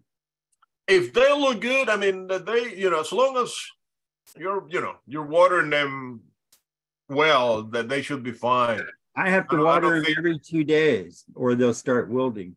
Yeah, yeah. I, I, wouldn't worry about the humidifier, quite honestly. Okay. Yeah. Yeah, Thanks. So production in coffee production in the U.S. Uh, other than Hawaii, really there is very limited production in uh, in California. Um, commercial growers, uh, there is a handful of them from uh, Santa Barbara down to San Diego, and these all started with the work of a former colleague Mark Gaskell. Uh, introduced uh, coffee. Jay got Jay Ruskey, a grower in Santa Barbara to start playing with coffee.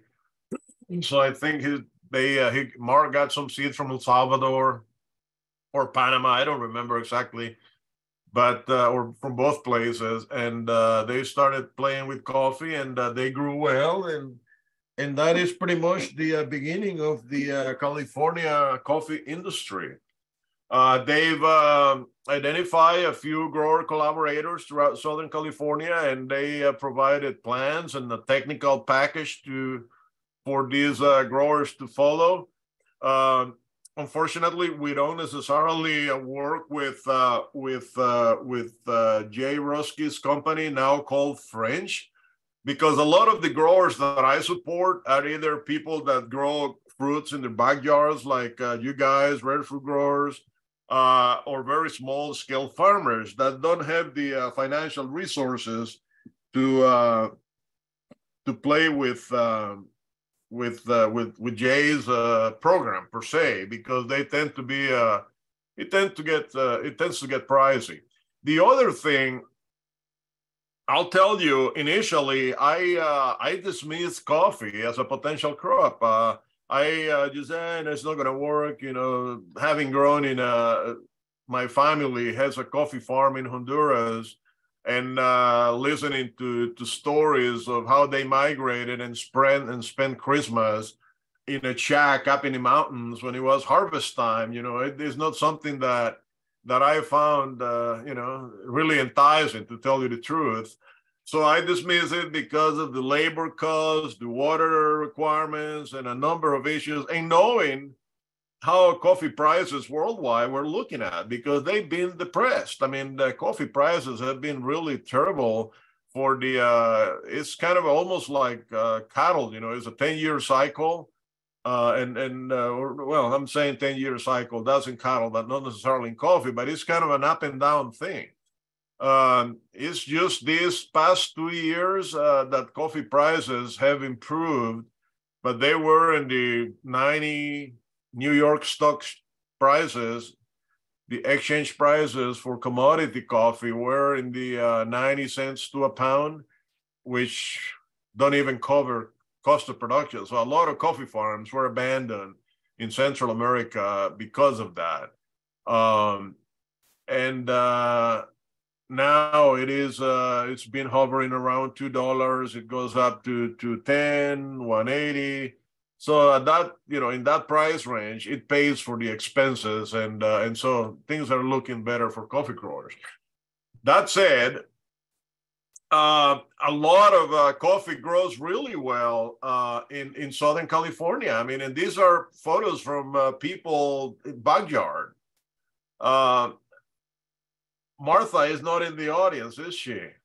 She's a grower in uh, in Southern in in in uh, Long Beach.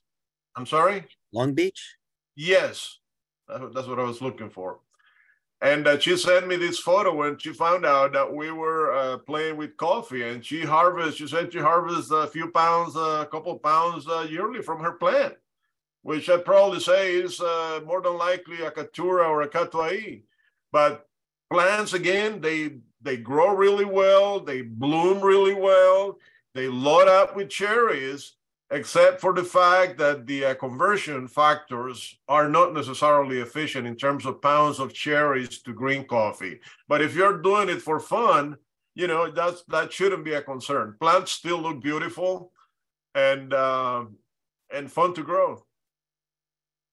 So California grown coffee. The, the these photos are from uh, from the web French uh, company's website. And the photo on the upper left, uh, it's a Jay the grower, and he's grown up in, uh, in, in, in Goleta, I believe it is, Santa Barbara County. And this is how, um, to get his coffee established early on, they built this uh, um, Agribon type uh, mini greenhouses or enclosures with chicken wire underneath to support him because uh, of the susceptibility of coffee to uh, to frost damage. Once it gets going, I mean, this is a uh, Scott Murray shared this photo with me on the uh, lower left. This is a couple rows in between avocados, and plants are looking uh, looking good. And I believe that is a geisha variety. And uh, this is again another hillside from uh, Jay's uh, farm in uh, in Goleta, where he grows coffee. Um, the photos here, most of them are, uh, except for the one on the upper left from uh, the flower fields in Carlsbad, where uh, Mike Mellano has this patch of coffee. And uh, again, well, no, actually, this is a, a, variety trial. The photo on the on the on the center, top center, it's a variety trial that we have going on at uh, the flower fields, where we're we're uh, we planted 15 different varieties trying to see how they adapt to that environment. And this is a replica trial of, uh, of another one that is at Cal Poly Pomona. And uh, is that if at some point there is any interest in going and take a look, uh, we can certainly accommodate, uh, you know, a field visit to that site.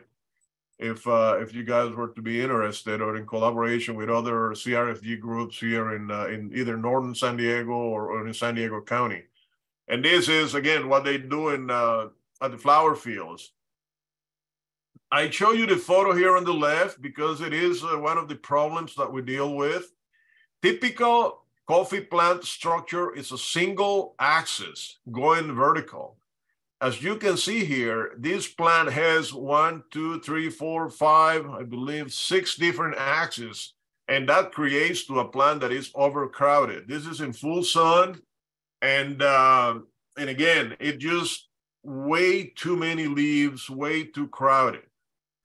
All the photos on the uh, the rest of the photos on the slide is uh, what I call my coffee forest at South Coast Field Station, and these are in containers in a shade house that is 50% shade. And one of the interesting things that I've noticed here in this in this little uh, experiment here is that the plants they do grow in a structure that is typical of their native environment. So that leads me to believe that if you want to grow coffee, you probably better off growing it with shade and then uh, plant it as compact. You can tell these these 15 gallon pots are right next to each other. So they, they should, they could use more space in between the rows but they are doing well uh, between the uh, in between plans. They could they could benefit from spacing a little bit more, but I'm I'm constrained by by how much space I have available. But they do show this single axis and then the lateral branches, which is what you want to see in a coffee plant. You know, single axis, lateral branches as the plants uh, get older, then they start sending sublaterals, and that's what gives you production. Coffee produces only on, on one year old wood.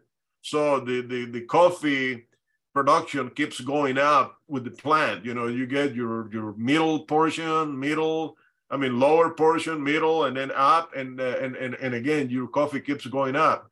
Once you reach a height, as you can see from the photos here that are in the, in the third uh, set of photos, this is a Typica plant that I topped at about two meters. And you can see where I topped it. And uh, and you can see that uh, it's starting to sprout, and uh, and the plants are growing beautifully. And it's got a, a lot of uh, you can see the cherries here, but it's got a lot of green cherries in it. Um, the other plant is a uh, Catuai, a red Catuai, and you can see how much coffee it has as well. And uh, so the plants grow really well under shade. They don't look stressed at all, except for the ones on the outer row, which get blasted by the cold wind. But other than that, uh, the plants really like the shade and they grow the way they're supposed to grow in uh, under the 50% shade. The other thing is that they don't produce a lot of shoots that you see with coffee in uh, in full sun. You know, you get an enormous amount of green uh, of biomass that is uh, conducive to to to mealybugs, ants, and a lot of different uh, spiders that get in there and just mess up your coffee plant. So, a research project that we looked at uh, at evaluating uh, variety, uh, Arabica coffee varieties.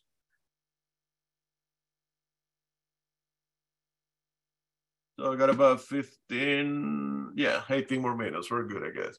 Um, and then uh, establish a variety garden at South Coast and Hansen REC just to show people, you know, how um, how plant how coffee grows and and also how to produce coffee uh, from seed, propagate from seed.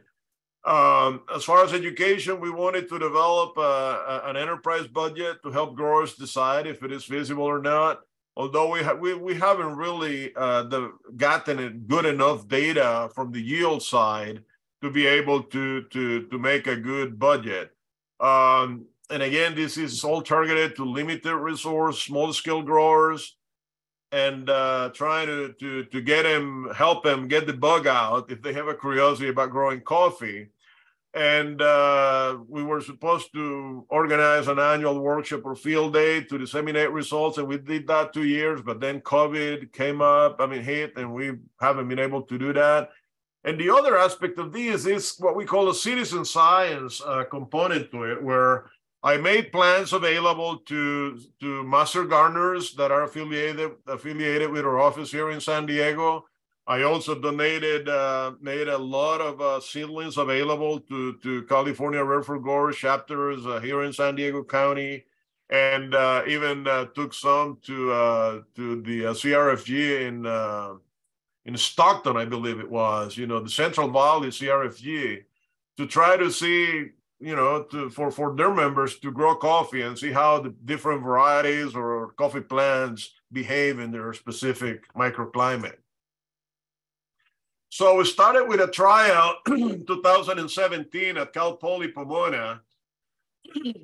And um, unfortunately, I think they gave us the coldest place on the campus, which, uh, and I said that because it was, uh, they, they took out uh, a few dying uh, citrus trees, that you can tell here in the photo uh, with, the, with the green flags and uh, that was a very cold spot. Uh, a lot of golfers too. So plants uh, struggled but got established. We established that in March of 2017. Uh, plant spacing, three feet between plants and seven feet between rows, three plants per variety. And uh, we were monitoring weather and uh, data from a CIMIS station that is on campus so the photo that I showed you before, it's uh, March 2017. The second set of photos, this is uh, August, and uh, the first one on the left is August. You can see the plants are growing and uh, pretty much taking off. A lot of new growth on the right photo in October 2017. monitor uh, the, the, the, width of the stems, the canopy, and the, the girth of the plants, the average uh, thickness of the trunk. Uh, this was a project that uh, a grad student was collecting some of this data and average canopy size. We measure width, uh, kind of a perpendicular measurements of the uh, of the canopy to arrive at an area. So again, 2017, and this is uh, after the winter. You can see how many plants survived. So we uh, we lost um, the ones that are not dead here ended up dying, you know, weeks after. So we uh, we pretty much scratched that trial. Um, simultaneously, I had an observation trial at South Coast adjacent, adjacent to my blueberry patch. And I guess only in California you can see coffee and blueberries, you know, growing side by side, right? Plants adapted really well and they grew very nicely. But again, you can tell on the photo on the lower right corner after winter how they uh, how they ended up. They uh, ended up most of them ended up dying also. So this was an observation trial, five plants per variety, three feet apart. And uh, following the layout of the blueberry patch, they were uh, spaced uh, 10 feet between rows. I also trying to see whether uh, coffee would work as an understory crop to chirimoya. There is a, a germplasm collection of chirimoyas at the station, and I convinced Derek, uh, I mean, uh, Darren Haver, the director, to let me put a trial under the chirimoyas, and we put again the same layout as Cal Poly, same number of varieties, 13 varieties, three plants per treatment. Um, they were not getting additional water, so any water they got was from the uh, from the chirimoyas. And uh, after a year or two, the plants were still alive, but uh, but too shaded. They never did anything, never grew uh, a lot of factors into place. One is uh, water was somewhat limited. And the reason was they didn't want an additional set of irrigation lines in there or sprinklers because of the uh, traffic of people. You know, there is a lot of volunteers that do work at the uh, the grove there, so they didn't want anybody trampling or or or falling over because of liabilities and uh, and then the other was the cost of water. I didn't have any funds to to to finance this research, so we were subject to use uh, whatever the chirimoyas didn't want per se. The soil though is very compacted because of the chirimoya root system, and uh, and that had a lot to do. I mean, even digging the holes to put the plants in was a was a major undertaking because you had to cut through roots and and it wasn't easy. So I mean, the, the, the, again, there were not favorable conditions for coffee plants. Eventually, the plants, uh, like I said, uh, never developed into anything uh, pleasant. So we pulled them out, and uh, and uh, what you see, and, and the plants that are now in the lath house in my coffee forest are the ones we rescued from that trial.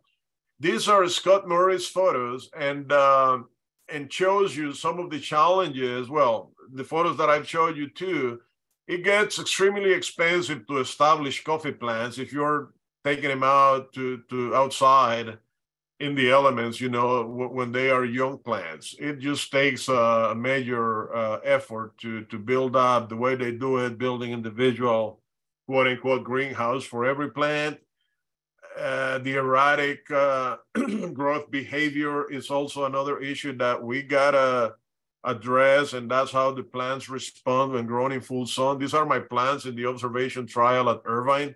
They just get crowded, and a lot of new shoots where there should be setting flowers. The other one is the mealybugs. They they are a problem with, uh, especially in the greenhouse where I have my plants. They are not as much a problem when you go in the field but still is something to keep an eye out for. So one of the things that we ask people is how to get involved with our research. And uh, there is potential for CRFG and Master Gardener collaboration, as I mentioned, to, to through a citizen science where we make coffee plants available. Uh, if it is seedlings, you know, we make them available for free. Uh, if it is plants of different sizes or various sizes, would like, if nothing else, to recoup the cost that uh, of the uh, supplies that have been put into it.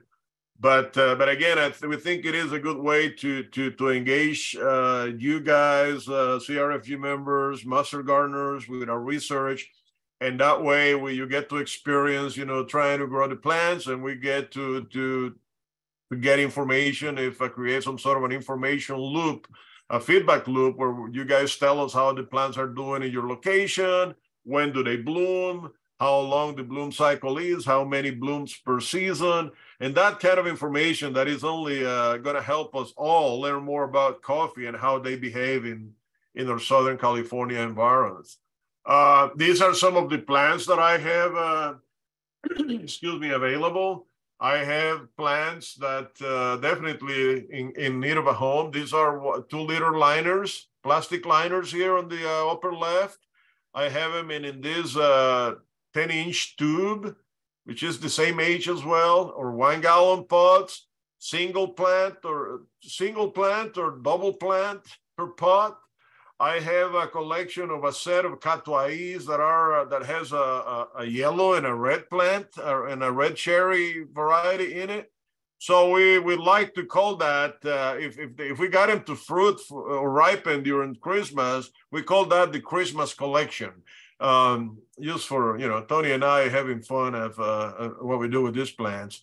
And uh, we have a tall one gallon pot as well in the lower left uh, photo. Uh, and then we have some in uh, in the seven gallon pots as well. And these are pretty tall. I mean, 24, 30 inches tall.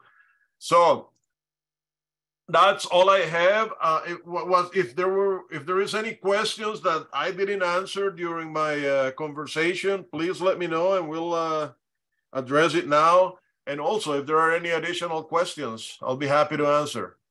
Um, somebody was asking how old are the plants? Which ones? The ones that the ones I have. This. Yes. These are some of them are various ages. These uh, these I believe are uh, twenty. The the seeds were from twenty twenty one. So they were seeded in 22 and uh, they are now what, a year and change old?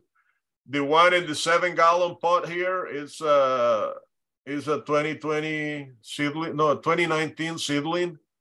But one of the beauties with coffee, and I'll tell you this from practical experience, is you can have coffee plants uh, if you don't fertilize them, they will stay put and don't push growth. And uh, but the minute you either repot them or fer- or feed them, they will explode and grow. And if you don't fertilize them, but you get a lot of water, could that leach out stuff out of the soil? Uh, potentially, yeah. And then, um, any issues with um municipality water? Should it be filtered at all?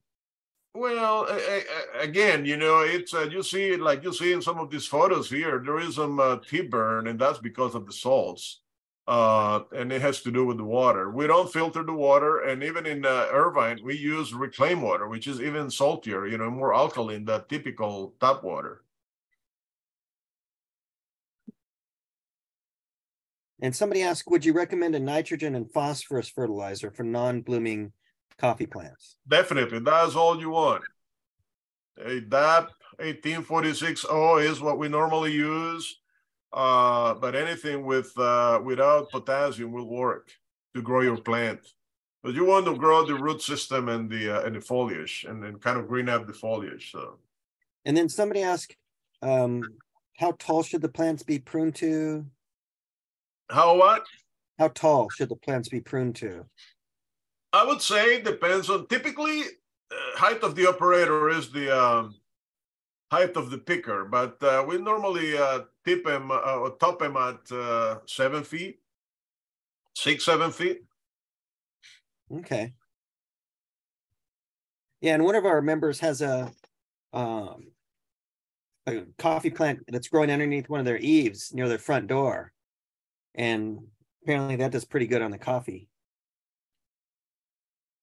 And he lives in Huntington Beach that is that is or isn't good Well, it seems to be good for him. Oh yeah, no, I mean partial partial shade uh, works really well.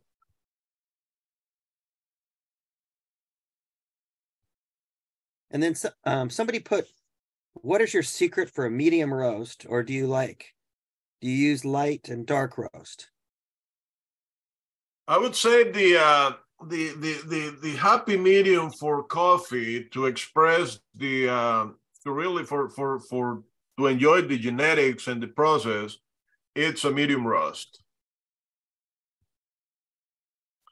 Because uh, the light uh, light roast, it it uh, you still get some kind of earthiness to it. I mean, it's not fully cooked per se, but the uh, medium roast uh, will allow you to enjoy the, the full flavor of the coffee and you will not burn the sugar. So if you're using like a process, a honey processed or a natural, and that's even more critical for, for honeys or, pro, or, or natural processed coffees, because you don't want to burn the sugars. And there is a lot of sugars in those beans because of the way they were processed. Okay. And then what is the blooming season for coffee?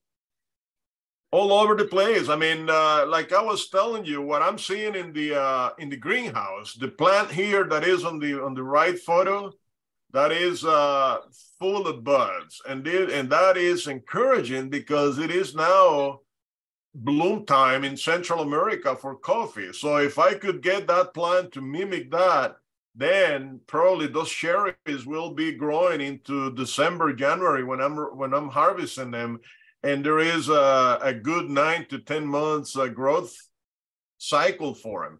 So they, they start blooming depending on the microclimate here in uh, Southern California uh, from uh, now until June, July.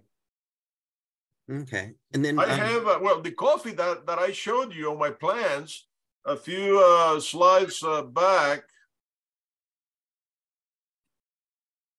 these pictures, uh, this was taken today. So that's uh, probably uh, August, July, August bloom probably, or later.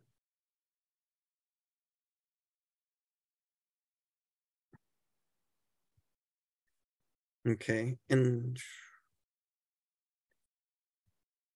And, And again, they grow well in pots. Uh, the larger the pot, obviously, the better. Uh, don't grow them in, uh, if you grow them indoors, don't put them right in front of a window, especially if, if the sun comes through and in its full expression. If uh, if uh, if you have a sunny, if you're you know window, put them to offset them to one side or the other. You don't want that light to hit them directly. Uh, if you can uh, if you grow them under shade, make sure that the shade, uh, the tree or, or shade the structure you're using is a good five feet above the canopy of the coffee. So you get uh, the light is diffused and uh, and you get airflow on top of you know going through those plants because uh, that is also critical you know to, to get some uh, air movement in there and um, what are the, common mistakes people make when they're repotting them? Uh, don't pay attention to the roots. Uh, look at the root system. I mean, if if you get a plant that looks, uh, and probably some of these plants that I'm showing you here on the slide that will have to to be looked at carefully when you take them out of the pot.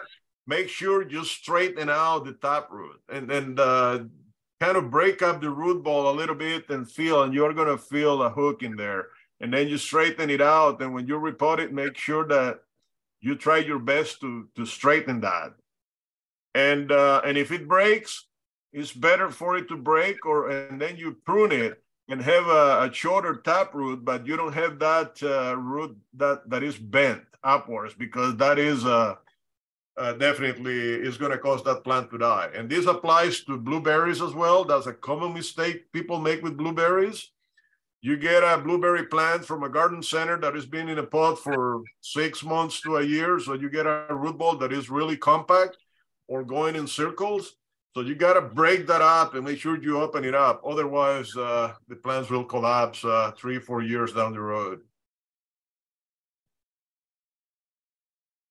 And somebody put, do some varieties have more of a problem with no beans in the cherries or just one bean in the cherries?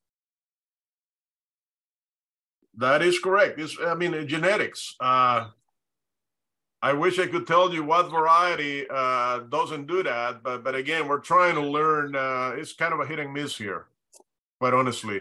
And from the varieties that I have in Irvine that I've been able to harvest, I haven't had enough quantities of cherries to be able to measure that.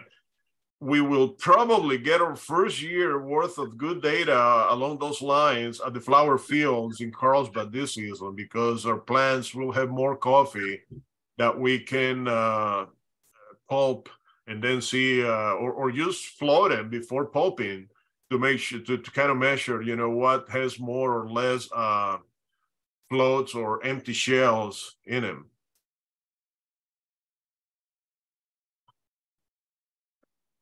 Okay, and then, oh, and also on our, um, on the plants, I could set up a thing where people just fill out a form and they can submit data to it, then that would go to a spreadsheet automatically for you to see as they do. that'll be that'll be great i mean if uh, once once we get something going i think uh, we can uh, and use observations you know it doesn't have to be any i mean if people were willing to kind of measure growth rate in terms of uh, what i showed you you know how thick is this the the, the trunk getting how tall how wide uh the, the, all that is meaningful information.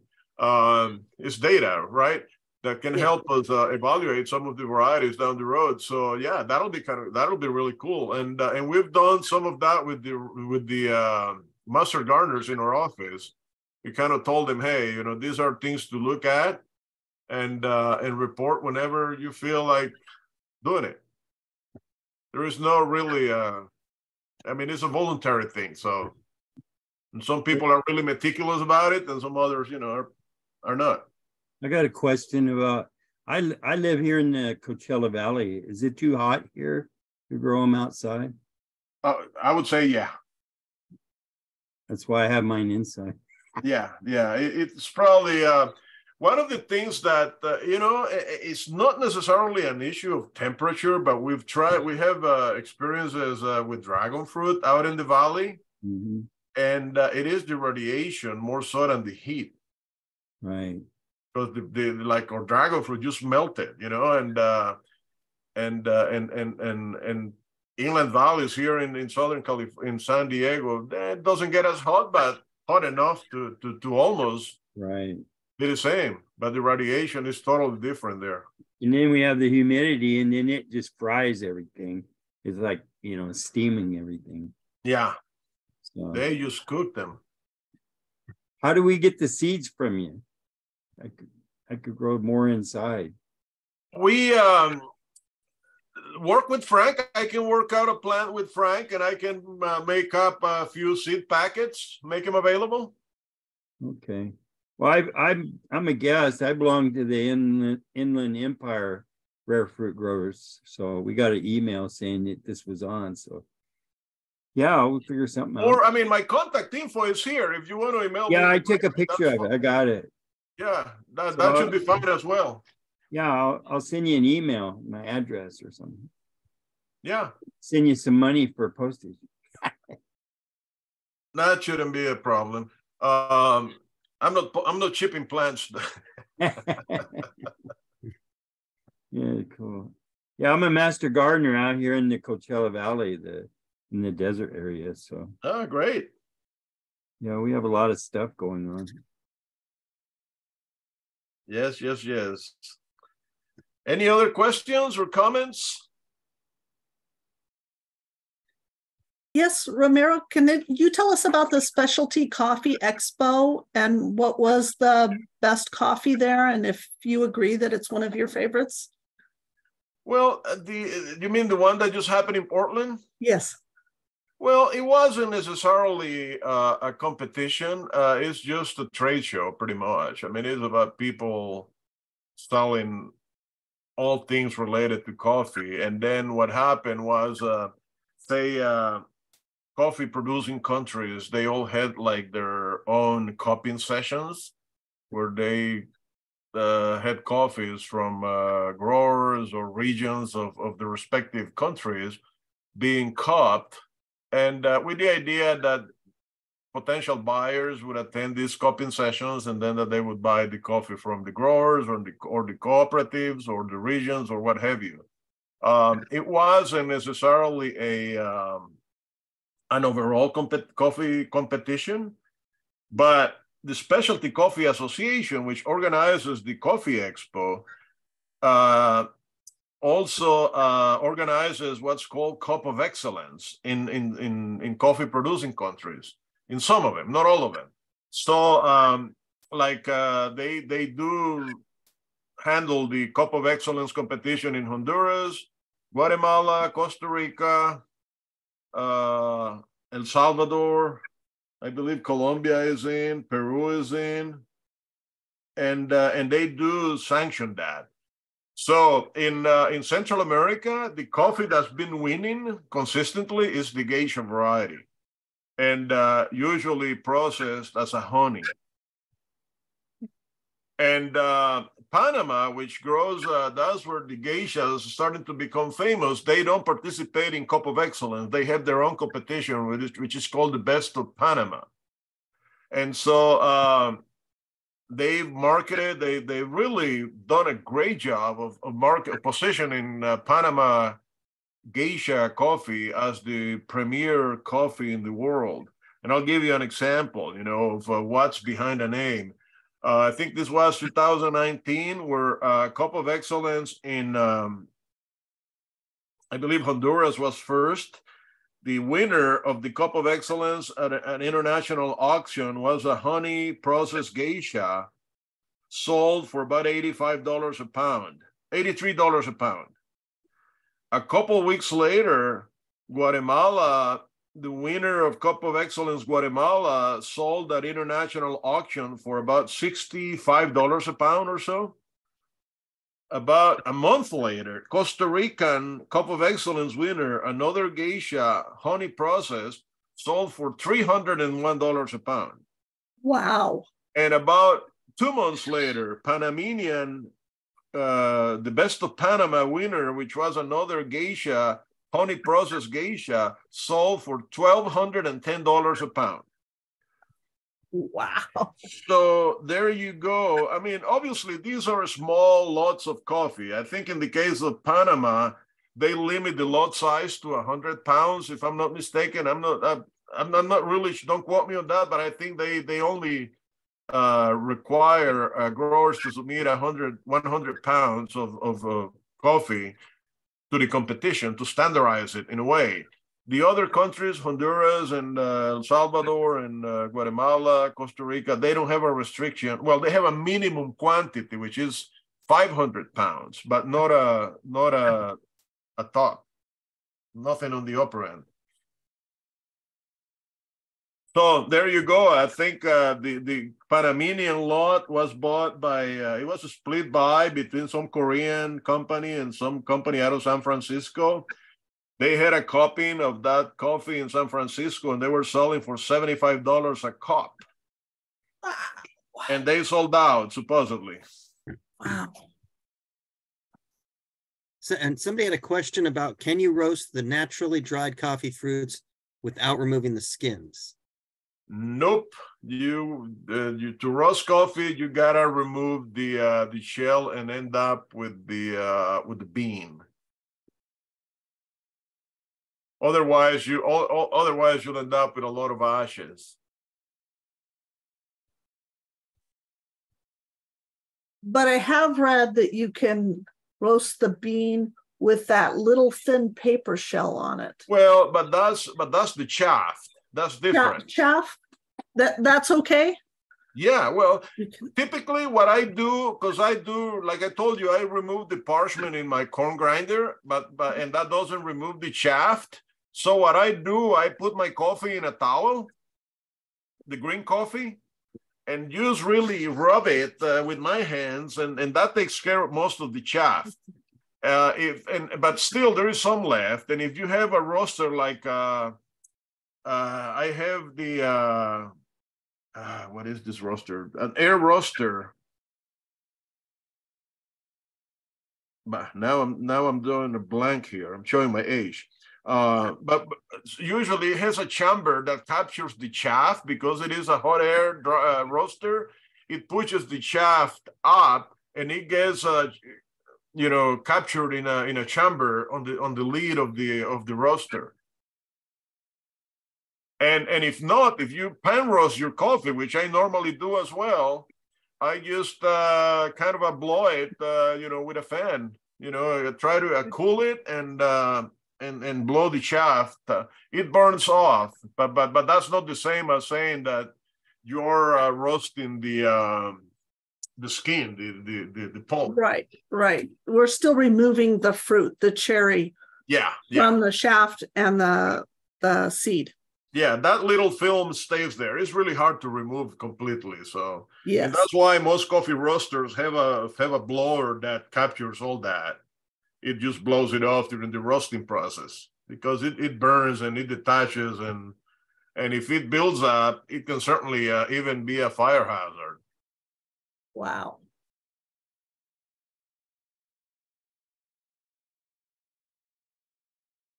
Any other question or comment, Frank? And let me see here. Oh, somebody said, thanks for the, um, your talk on coffee.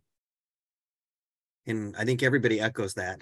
My my pleasure. And um, one of the things that we did with the CRFG uh, up at Fullerton one time was to have um, uh, the same variety processed differently, and then have people taste it just to see if they could pick up the difference in flavor. And that was kind of a cool exercise. So that's something that uh, at some point in time, if there is any other activity or opportunity, it'll be fun to do. Because we try to do it across varieties or across processing methods but uh, it is easier to pick up the differences in flavor if you do it across processing methods using the same variety than it is across methods with different varieties. Yeah, that's completely understandable. All right, well, I'm going to Okay, let's see. get out of my uh, PowerPoint Thank you very much. Thank you. and uh, pleasure talking to you Thank you guys. And I hope the information is useful. And again, you have my my contact information. If um, any uh, questions come up afterwards, please let me know. More than happy to to make up an answer for you. Thank you. Let me see. All right, guys. Yeah, your screen right. w- removed weird. I'm sorry. The screen removed weird. It's like you tore the page off and it's floating or It looks like a Salvador Dali um, painting. My screen.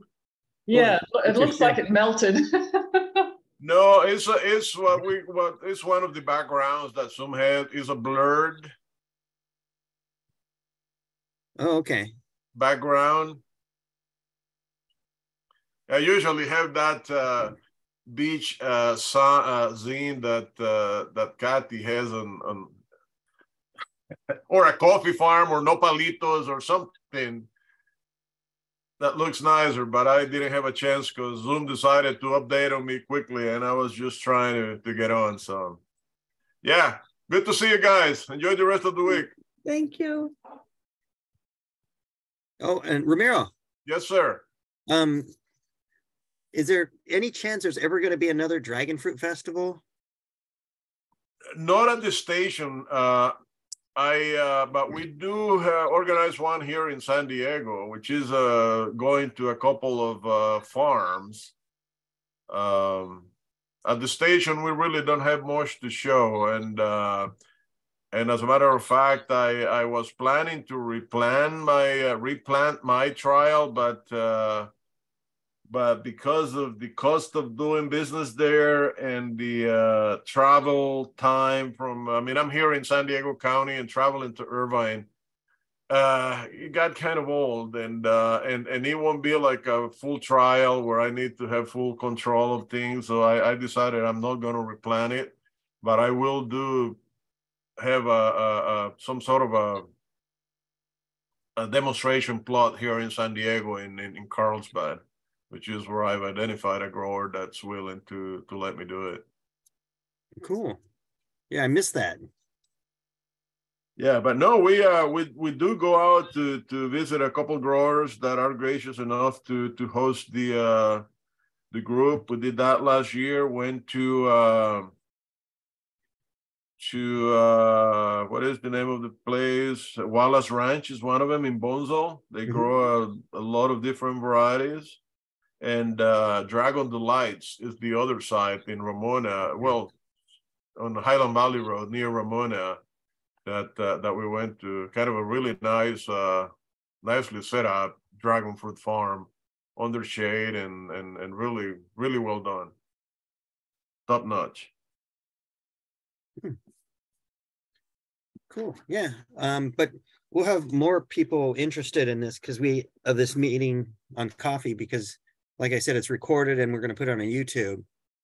And then we'll actually get more people registering even after the event. That sounds good. I mean, uh, any any feedback you can provide, that'll be great. And if uh, any follow up questions, again, be happy to to entertain him. Okay, cool. Well, thank you for speaking, presenting. Yeah, my pleasure. Okay, We'll see you guys. okay.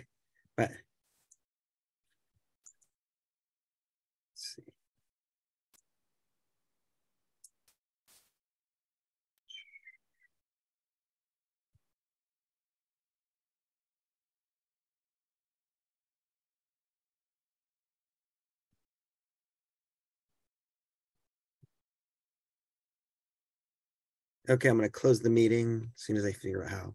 Okay, there it is. Good night, everyone. Right. Oh. Let me download the chat.